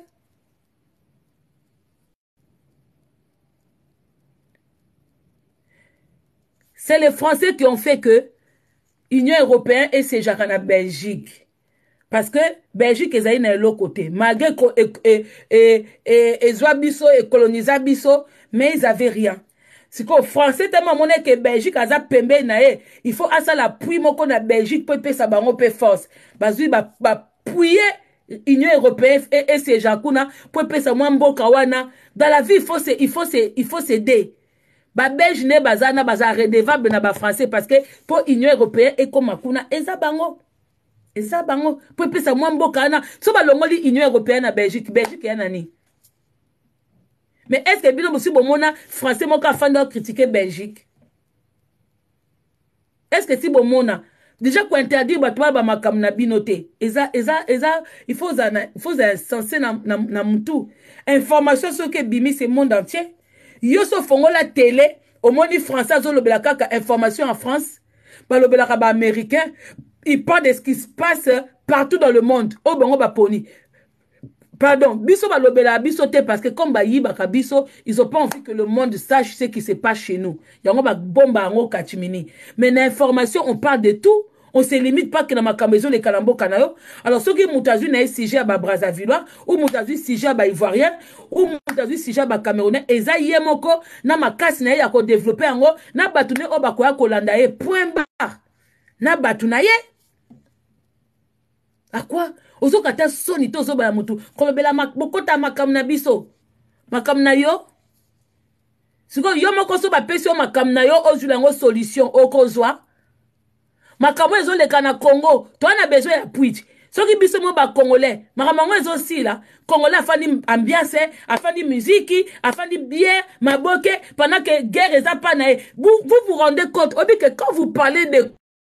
Congo Kinshasa eh. au lieu bozwa ta bokenda koswanisa ba voisins ayez même honte pour vous on est un pays assiégé par des étrangers on est au moyen tokomi tovivre quoi na moyen âge bango kutu na braza baana baza kutu na, na président ya, ya mboka na bango ata awumeli omoi toyebi ke sasu aza ya, ya bango me biso bokontaka tshilombo te Tshilombo n'a pas ete vote, Tshilombo ce sont les Rwandais qui l'ont mis là, malgre qui l'ont mis là il ne prend pas des decisions, aza lokola marionnette, amemeli biso susu Kagame na, na stade de martyr esika ba koko na biso ba kufa, amemeli biso munguna na stade de martyr, avant lui on a eu 18 ans de kingakati, un étranger qui nous a gouverné pendant 18 ans mais okomona kaka congolais afandi azomela masanga mais bokeso ete ba brazzavillois vous avez même pas honte de vous-même hein? vous avez même pas honte de vous-même tozoluka bato bakopete biso coup de main parce que na biso moko bolingi ka makambo ya kolata na ya basi na ya ambiance c'est tout mais okosa koloba mpe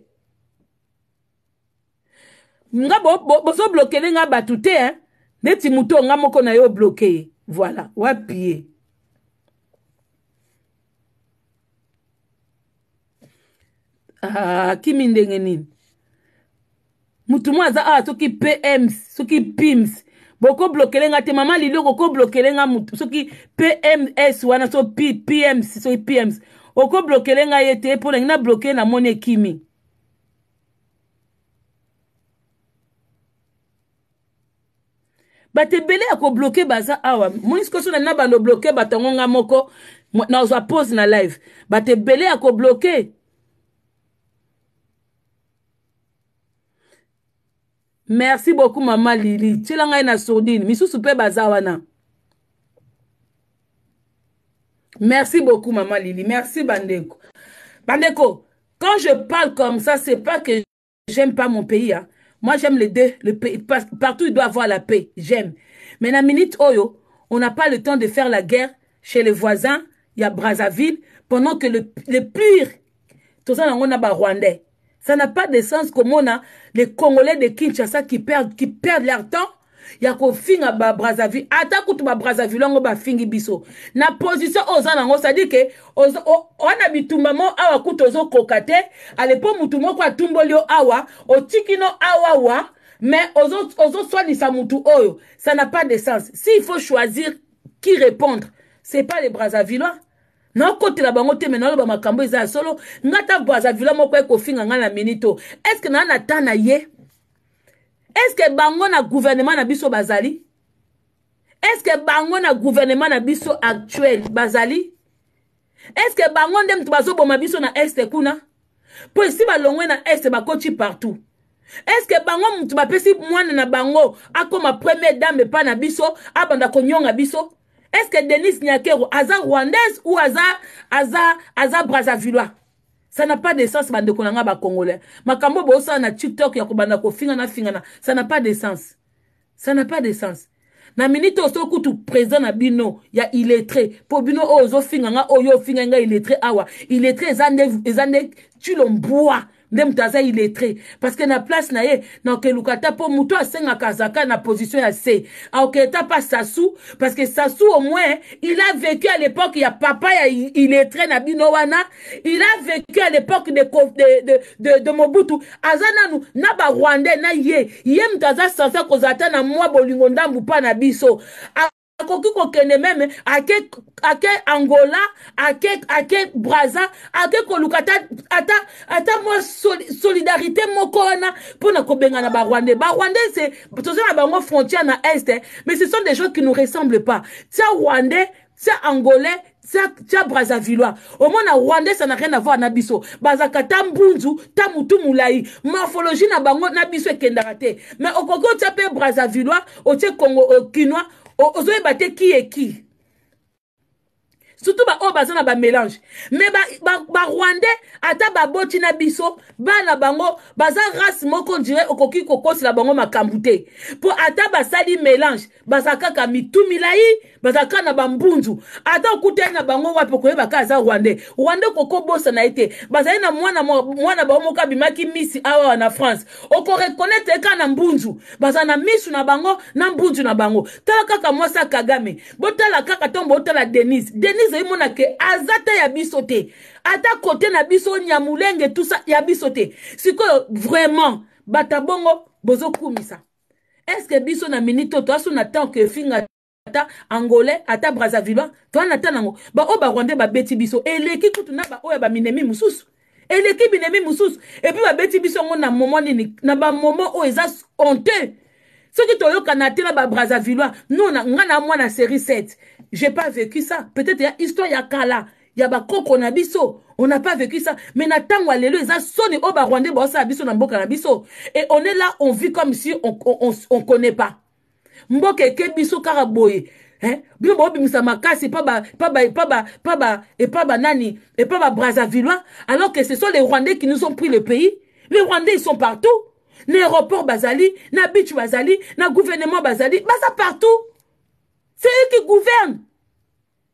siko soni wana esala bino te donc bino bozwi soni na, ya bato misusu bozobwaka mpa bato misusu moi ça m'étonne hein? bato babotoli bino mboka bato misusu mais vous vous vivez dans le passé boma, boma congolais tika nyoka boma kinois tika nyoka vous êtes que dans votre passé de nyoka bozwi nyoka wana ya kala oyo bino mpe botikala komona te boza na ye kaka na motu me mboka eke bino mboka eke bino na barwandais vous voyez pas bazosala nzela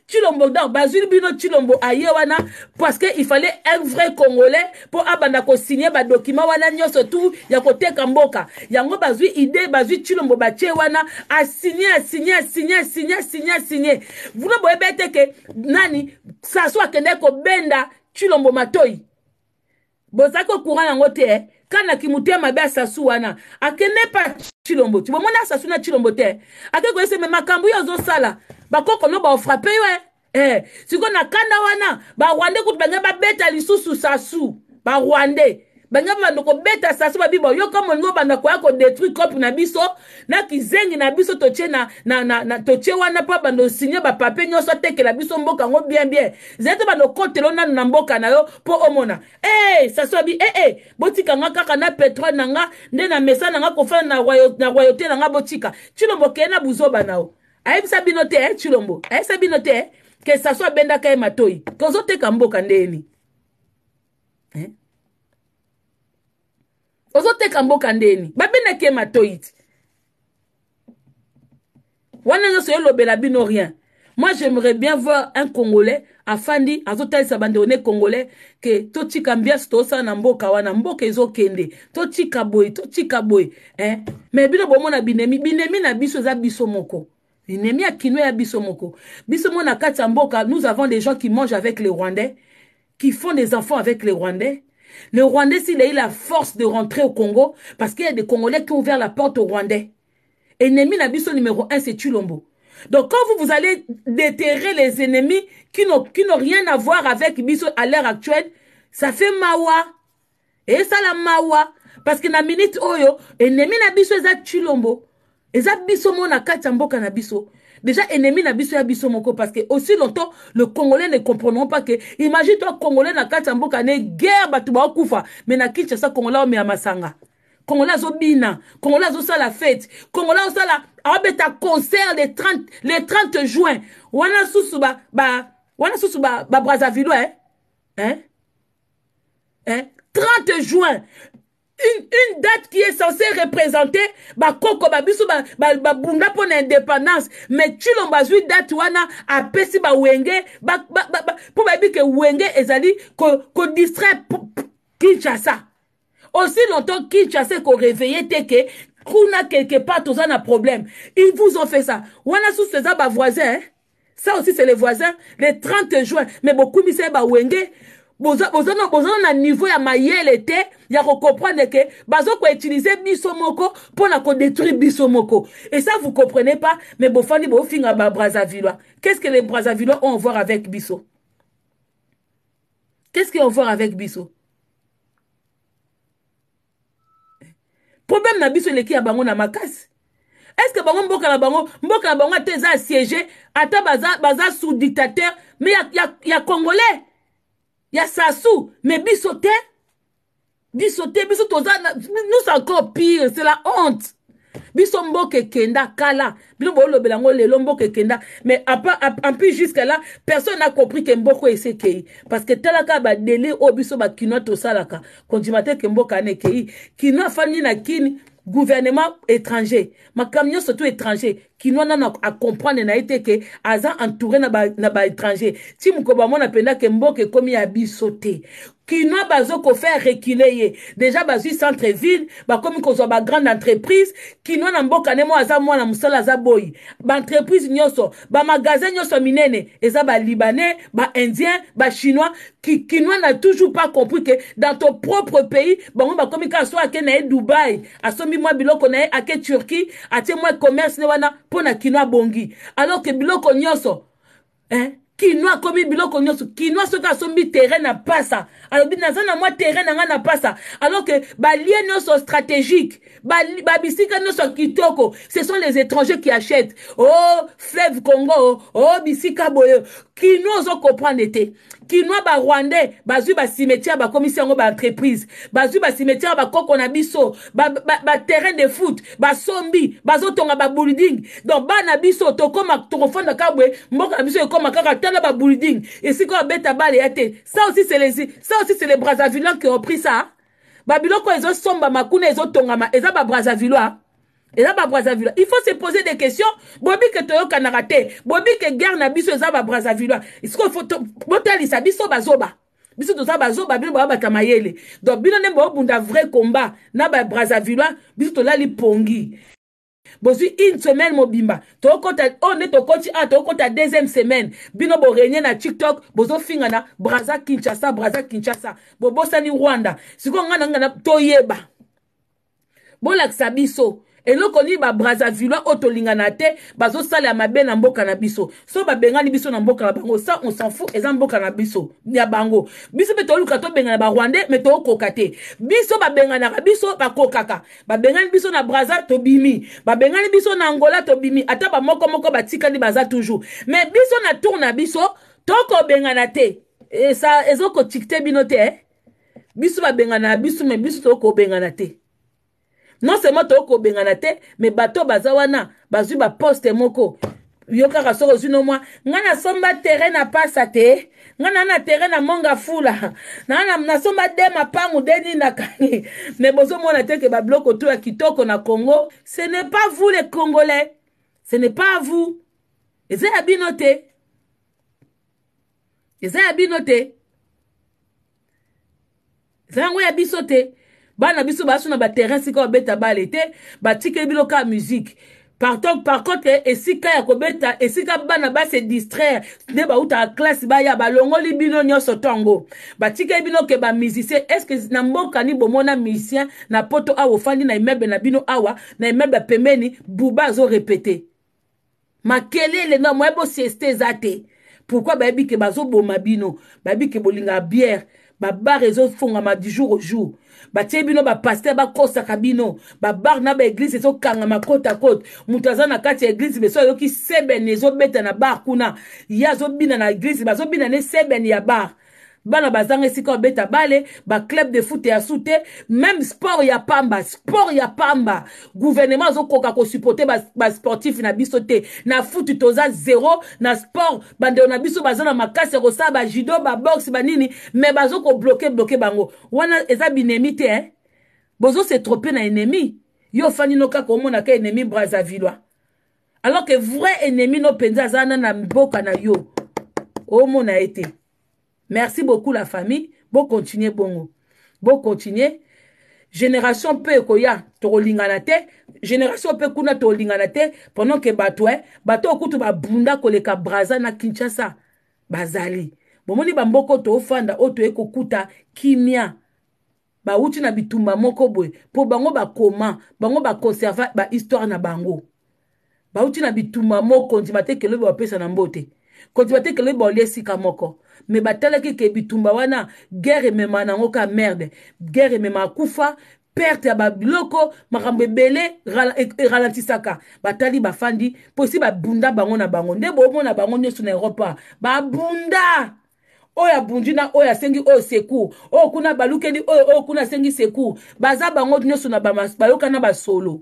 bakoko na bango bayoka na basolo donc moto abangisa moninga aza te babiso mpe toyokana deja basolo so bino bokanisaka efalaki mpa tobunda mpo toza ba trois pays te ezalaka bongo mutu il faut kobunda il faut koyokana basolo ntango bayokani basolo bamoni ke kote na biso perte kote na bango mpe perte kote okufa kote kuna kufa ai sukasuka bobongisa eh, ntango babongisi nde, nde bakoma lelo eh, nde bakoma lelo me na epoke wana ezali boye te na epoke wana ezalaki mpenza ke français okute na allemand kamutye mbeli kamuboma ye kamuboma ye bafilme na bango ezalaka wana bareproduisa bafilme na bango mpo balakisa sika bauta et na esika bazo kende mais bino te bino kutu biso kutu makambo yango toviva yango te me bino bogarda ba haine haine moko ezanga nango na motu na makolo bato bakoma kobalana bato bakoma kobota ensemble bato bakoma kolia ensemble me bozwi haine wana bogarda bo ndeti ngai masolo bobetaka ke o oh, bakongo ba, ba, ba, ba, braza balingaka biso te nayebi yango te oboma oh, konkinoa tika nyoka nayebi yango te namona yango te nanu mpe nakutana na brazavilois moko afase na ngai te nyoka temi pembeni abomi ngai atiki nyoka namona na ngai yango te namela masanga na bango naliaka na bango na na bafeti na bango nazalaka na bango do makambo ozoloba nayebi yango te ebele pe boza na toyebi na biso te mais na minute oyo ngai nayebi ka ennemi na biso ce sont des rwandais na ndenge amuke te soki lelo toza nde toza boye mboka ekei ce sont des rwandais nga nde rwandais nde nayebi ke après rwandais pe aza image na nga te nga so natie brazavillois na mi sentir plus proche rwandais nayebi kutu biloko baliaka te langue na bango nayokaka te wana fo ke na este faut que kota ba est kuna po bayokana un mosusu na kiswahili na bango kuna bameka koyokana elongi na bango eza nango na elongi na biso te na famille na biso nananga mpe na moto abota na bango te mais so nake na ngola na omimona ndeti kaka biso so nake na, na braza na omimona kaka ndeti biso rwanda mpenza mm -mm. bamorphologie wana ya biso te ba morphologie wana nayebi te soki tokoki kotrouve yango mpa banani mpa banani eza mpenza ya biso mpenza mingimingi te mingimingi te yango wana mpe bitumba oyo ezosila te parceke toza eloko moko te toza na biso mpe na nayebi te soki oyo baliaka nini kuna eh. soki baliaka fumbwa eh. soki baliaka koko eh. soki baliaka nini nayebi kutu ta banourriture na bango te siko soki yasi ya nkomba affaire Bandeko na ngai ba kinois, s'il ya combat à faire, c'est entre nous meme à l'interieur du pays. Parce que mboka na biso moto akoya o delivrer biso aza te. Eza biso moko. Il faut que les Congolais comprennent que, les Kinois comprennent que le pays est parti. Un moment, on doit se passer de, de, de, de tout. De tout. Faut tozonga bo batu. Po tozonga bo batu, il faut kosala abstrait na musique. bolinga te il faut kotemela maboke bolinga te parce que ce sont tous ces gens là qui, des, qui nous distrait preuve ane bamisio na biso baza, na, un, baza incapable ya kosunga biso meme ya kopase message preuve ane bomona bango ata baobeta baconcert balobela ya biso te bomoni bango nyonso tu bakende na bango rwanda quand ya, ya, baza na bacontrat na bango baotala bambongo na bango voilà alors que un moment quand, ya la, quand, quand vous sentez que vous êtes en danger il y a des choses Vie eza nde nini? Elokola masuwa bozokende na masuwa bayebisa bino ke non masuwa eza trop charge il ya un danger faut ko bando bimisa biloko bozwa ba biloko bo bando bwaka bo bando bwaka omona pe na valise ya bilamba obwaki pour na obika na olanda valise ya bilamba olanda nini sikoyo biso eza bongo ou tobiki ou tolandi musique ou tobiki ou tolandi maboke maintenant congolais pona kinois pona so kinois bia pona apona musique apona maboke yango moye to avance ya te et comme le rwandais ba comprendre faiblesse na biso bazo ko utiliser biso kaka na faiblesse na biso donc ennemi na biso eza biso moko eza biso moko bayebi ke tolingi bilamba tolingi ambiance bango batiki biso na bilamba na ambiance bango bao koavance ti nde toza boye boreve na bino te okomi o oh, bazwaki village boye esi bazwa nyonso esi bazwa meme ko kinshasa esi bazwi Vous-même, dans votre pays, vous avez quoi C'est quoi l'entreprise qui appartient à un Congolais C'est quel grand magasin qui appartient à un Congolais C'est quel grand hôtel qui appartient à un Congolais Rien. Non. merci beaucoup na bandeko nyonso tu oyo bokoti awa bozala tokotisa ba 3 ndeko na biso oyo so baa na likambo ya loba na biso après nga na mesane trop na ba live même si je laisse la parole mais pas beaucoup je préfère aller na idée na nga ti na suka Oui, bonsoir, bonsoir. Hello, Bandeko, bonsoir ndeko bonsoir, mama. Elikia. Bonsoir, Mama Congo. Merci de m'avoir accordé la parole. hein. Nga nabaki to- na bon, na makambo ya koloba eza quand même ebele, eza kaka que eza ignorance, bato bazoyeba lisusu histoire te. nazokutama na ba life yango te peut-être mpo na ngai naza na catégorie ya ba camarade ya ba ami wana te na tiktok na nga mais nazoyoka kaka nde baninga bazoloba tozonga mwa moke nsima totala histoire nga makambo wana nayebi yango à travers koko na nga mwasi parce que bandeko na biso bayaka na kinshasa bautaki braza mpo naza na bandeko kuna bayaki na periode ya guerre ya lisuba donc euh, ntango ba, baye nde nayo kocomprendre koko na ngai mpe ayebisi ngai ke non bango ntango bazalaki mpe bato ya braza te bautaki kouta bakota ba sierra leone bakiti centre afrique centre afrique baye koko na ngai akufi na 2000 azalaki na 95 ans donc aye kobotama na brazzaville baye kokola na kinshasa bandeko na ye mibali batikali kuna baboti famille mosusu bafamille ya kubana na famille monene kuna bon bref tozali famille toza bandeko bato baza kofingana wana mama kongo so tobandi tobanda ofuye batelefone na bango bokokuta bazowela makambo ya mibali baza wana bawelaka mpo nde baza wana baza wana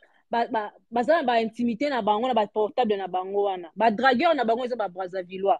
bazose mugu en désordre kuna bazose mugu carrément correctement ndenge bazalaka wana mai na, na bakamera na bango na baportable na bango baoya koambrie biso ole toloba makambo oyo eza ya nzela efungola e, e, e, epesa biso mwinda na, na kongo na biso tozolobaka makambo eza, eza vraiment na motuna mokila te eza makambo ya soni ya koyokaka bacamerounais bayokaka makambo na biso ngai nakutana na camerounais moko alobi na ngai me ngai nayebi te ke bozalaka na deux congo nga kasi alaki ezalaka congo moko c'est la première fois nayeba ke congo brazzaville aussi existe ngabi bien sûr tozalaka mi bacongo eza mibale mais biso surtout tozalaki kaka peuple moko donc totika badistraction na makambo wana eza, eza vraiment na ntina te ezali vraiment na ntina te soki tofuye baportable na bino bakongole ya mibali boza wana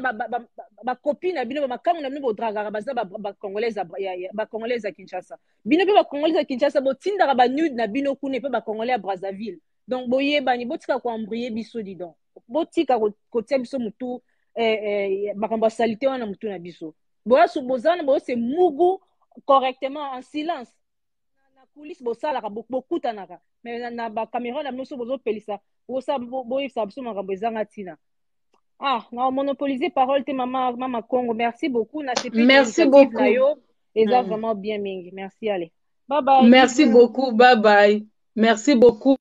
famille tozala vraiment na habitude quand nous voyons des choses comme ça toza na bana boyebi ke tiktok réseaux sociaux nyonso tout tout confondu bana biso bakoma otala yango bozo comprendre quand vous voyez des choses comme ça eza babiloko ya kobeta kara te il faut ou koexplike bana na ndako eh, ntango bana bamona me ah maman congolais comment mpo lelo su comme, comme tozonga na nkombo ya congo beaucoup de gens fo, fo n'arrive pas à faire la différence quand tozalaki zaire peut-être les gens ils arrivaient à savoir zaire na congo mais lelo kaka tokoma ba deux congo il faut vraiment kokoma koprécise beaucoup de gens font, font, ont du mal à nous, à nous confondre donc soki sikoyo baconfondre ba na, na, na, na congo mosusu eza te ke mpo dénigre kokola mosusu e eh, te ngai naza ya kuna te et alors bia kuna eza ya ndenge nini eh, il faut faire vraiment très attention si soki toza kobeta sete na babiloko oyo eza parce que babiloko tomona buzoba yango nde ezozwa le devant na bavie na biso maintenant c'est ça le problème chez nous les congolais parce que omoni mundele mpo abongisa mboka na ye mpo abongisa mentalité na ye il n'a rien laissé au hasard parce que eloko mosusu yo ozomona ozo néglige yango moto eko moto ya moke onéglige yango moto ekozikisa mpe ndako yango quand vous voyez des choses comme ça il faut kotelemela yango basenji wana baza tellement ebele na réseaux sociaux bakozwa ampleur botiki bango ndambu lelo botiki bango ndambu lobi mais soki bayokaki e eh, bakomi otemela biso kuna soni omona mpena aye kolobela likambo moko aye kofinga azala afingi kin eza afingi braza amoni ke bato baye koatake bango u bato bakoti na bango te apart bango na bango ndenge mama na biso eliki alobi ke bango na bango nde bamugna na bango kuna ekoma soni parce que un moment on est trop passe par des choses inutiles pendant que munguna na biso vrai ennemi azo ko avancer nous on est que dans les choses comme ça est ce que na réseaux sociaux bomona ba rwandais ils sont pas dans les réseaux sociaux baza na makambo na bango parce que président na bango azosalela bango makambo ya kitoko malgré biso toomona ye assassin mpo azoboma mpa na biso me azobongisa mpa na ye bazotanga baklasi bazosala makambo ya kitoko mpo bakoenvahir biso encore pire pire yango bomona barwandais ntango bakokota na kine bazoboma bauniversité bazoboma baklase ya bana c'est-à-dire ke mwana asisi klase ma eloko ya malonga te mwana asisi classe musala te mwana oke classe na ba difficulté tout bazoboma biso c'est pour ça je vous dis la famille ennemi ya congolais pour l'instant ya kinois eza biso moko après ba rwandais biso moko pourquoi parce que nani tozwi conscience te ke mboka na biso ça ne va pas eza rare il y a pas un pays au monde que au Congo Kinshasa esika ozomona ke baza na guerre na est kuna ba famille ezolela Tozo mona ba image bana bao kufa koto bao mela masanga je n'ai jamais vu ça je n'ai jamais vu ça mais tomona tomona na, na États-Unis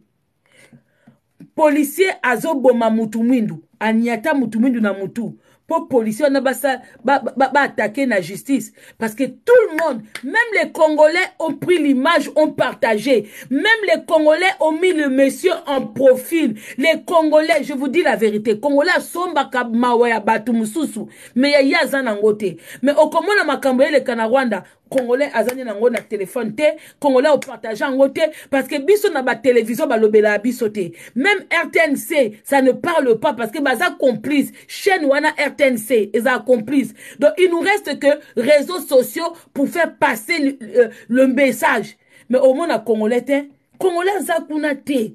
donc sikoyo yo ozoluka enemi wapi enemi eza biso moko mais omona na kote mosusu live ya mafinga bato batondi bapartage banini meme bapage na biso bazuzi yango mais okomona ka likambo moi je n'ai jamais vu oyebi ngai so naobetela bakolege na ngai ke pays na ngai eza bien te bandima te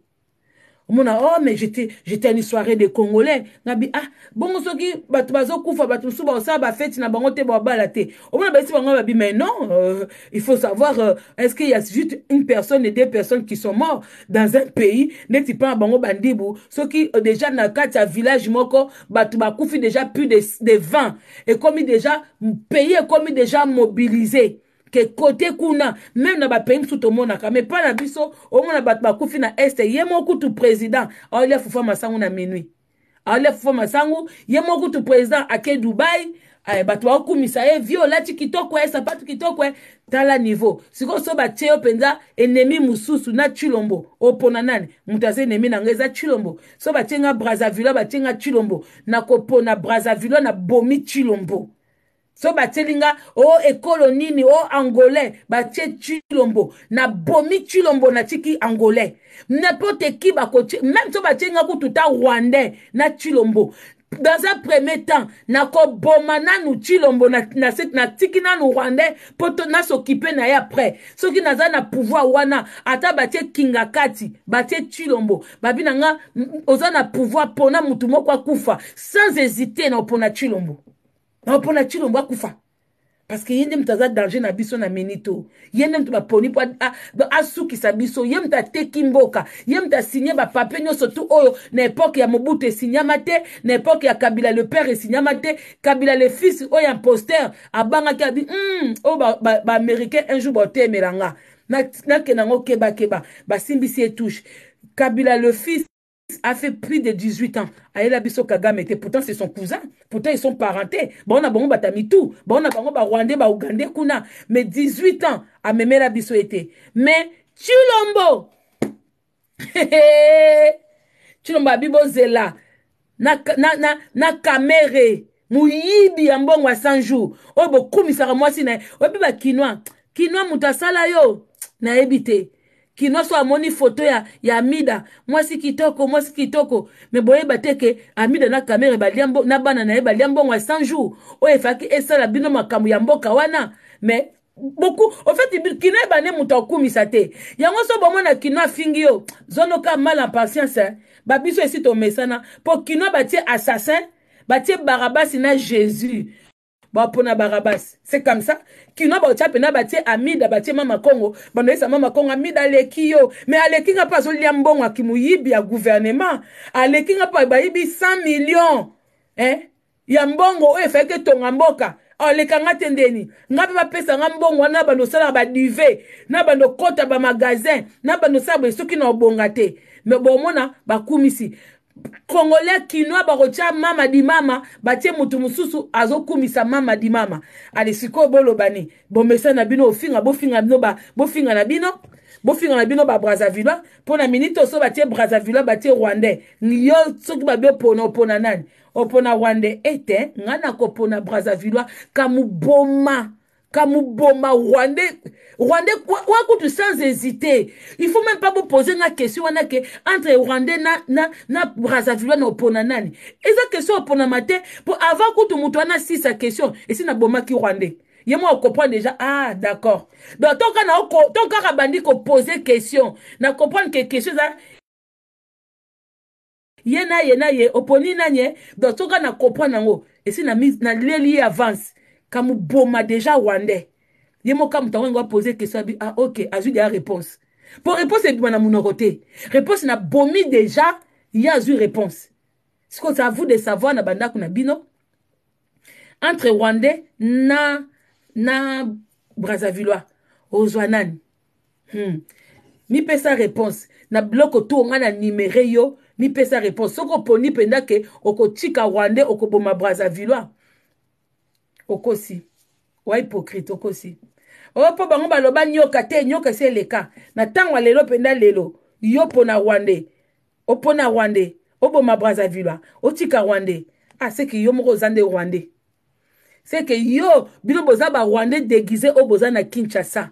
bino boza ba rwandais oyo boinfiltra biso na kati ya kinshasa mpo ba rwandais ebele boinfiltra biso bokomisa bomi bozo bolata bakombo ya baluba bolata bakombo ya baswahili bolata bakombo ya bakongo bolata bakombo sikoyo bokoma kosala ndeti boza ebele soki oponi mpenza rwandais seke soki oponi mpenza ke ona kopona na nga rwandais oza vrai kinois te oza vrai congolais te oza infiltre na kati ya mboka na biso gros bizu na bandeko nyonso to botie botapote gros bizu na bandeko nyonso to bolandi live oyo o bopartage tozwi 124 partage merci beaucoup merci na présence na bino en tout cas j'espère que Toluka solution au fur et à mesure. Hein, ba koko baza na biso. Ça me tenait vraiment à cœur de de faire ce live là. J'espère que bandeko bozo fingana bozwa ngo mabe te que live oyo un petit bozalaki na ignorance tant boyoka live oyo e portele bino mwa un plus mpo bozonga na bomoto ezala bakinois ezala ba, euh, ba ba Brazzavillois je parlais na ba deux frères na ba deux sœurs des deux pays nalobeli biso sous la deux pays wana j'espère que ekopesa bino quand même bwania ke boyelaa biso sous ba, ba biloko na bino wana te botie ba live na bino boyana ofingana na deux pays wana eyesala propre te botika vraiment gros bisous et bonne soirée à nous tous merci beaucoup merci beaucoup semaine malamu semaine malamu j'espère qu'on aura encore plus plus ya baanalyse ya osala ensemble merci merci bandeko vraiment merci à vous tous bakombo ezoleka ebele na okobanda otanga moko moko te sote baninga mosusu baotangama te merci à vous tous tout le monde qui était là bandeko tubolana ngai na tiktok en tout cas na na youtube na page merci à vous bye bye gros bisous bye bye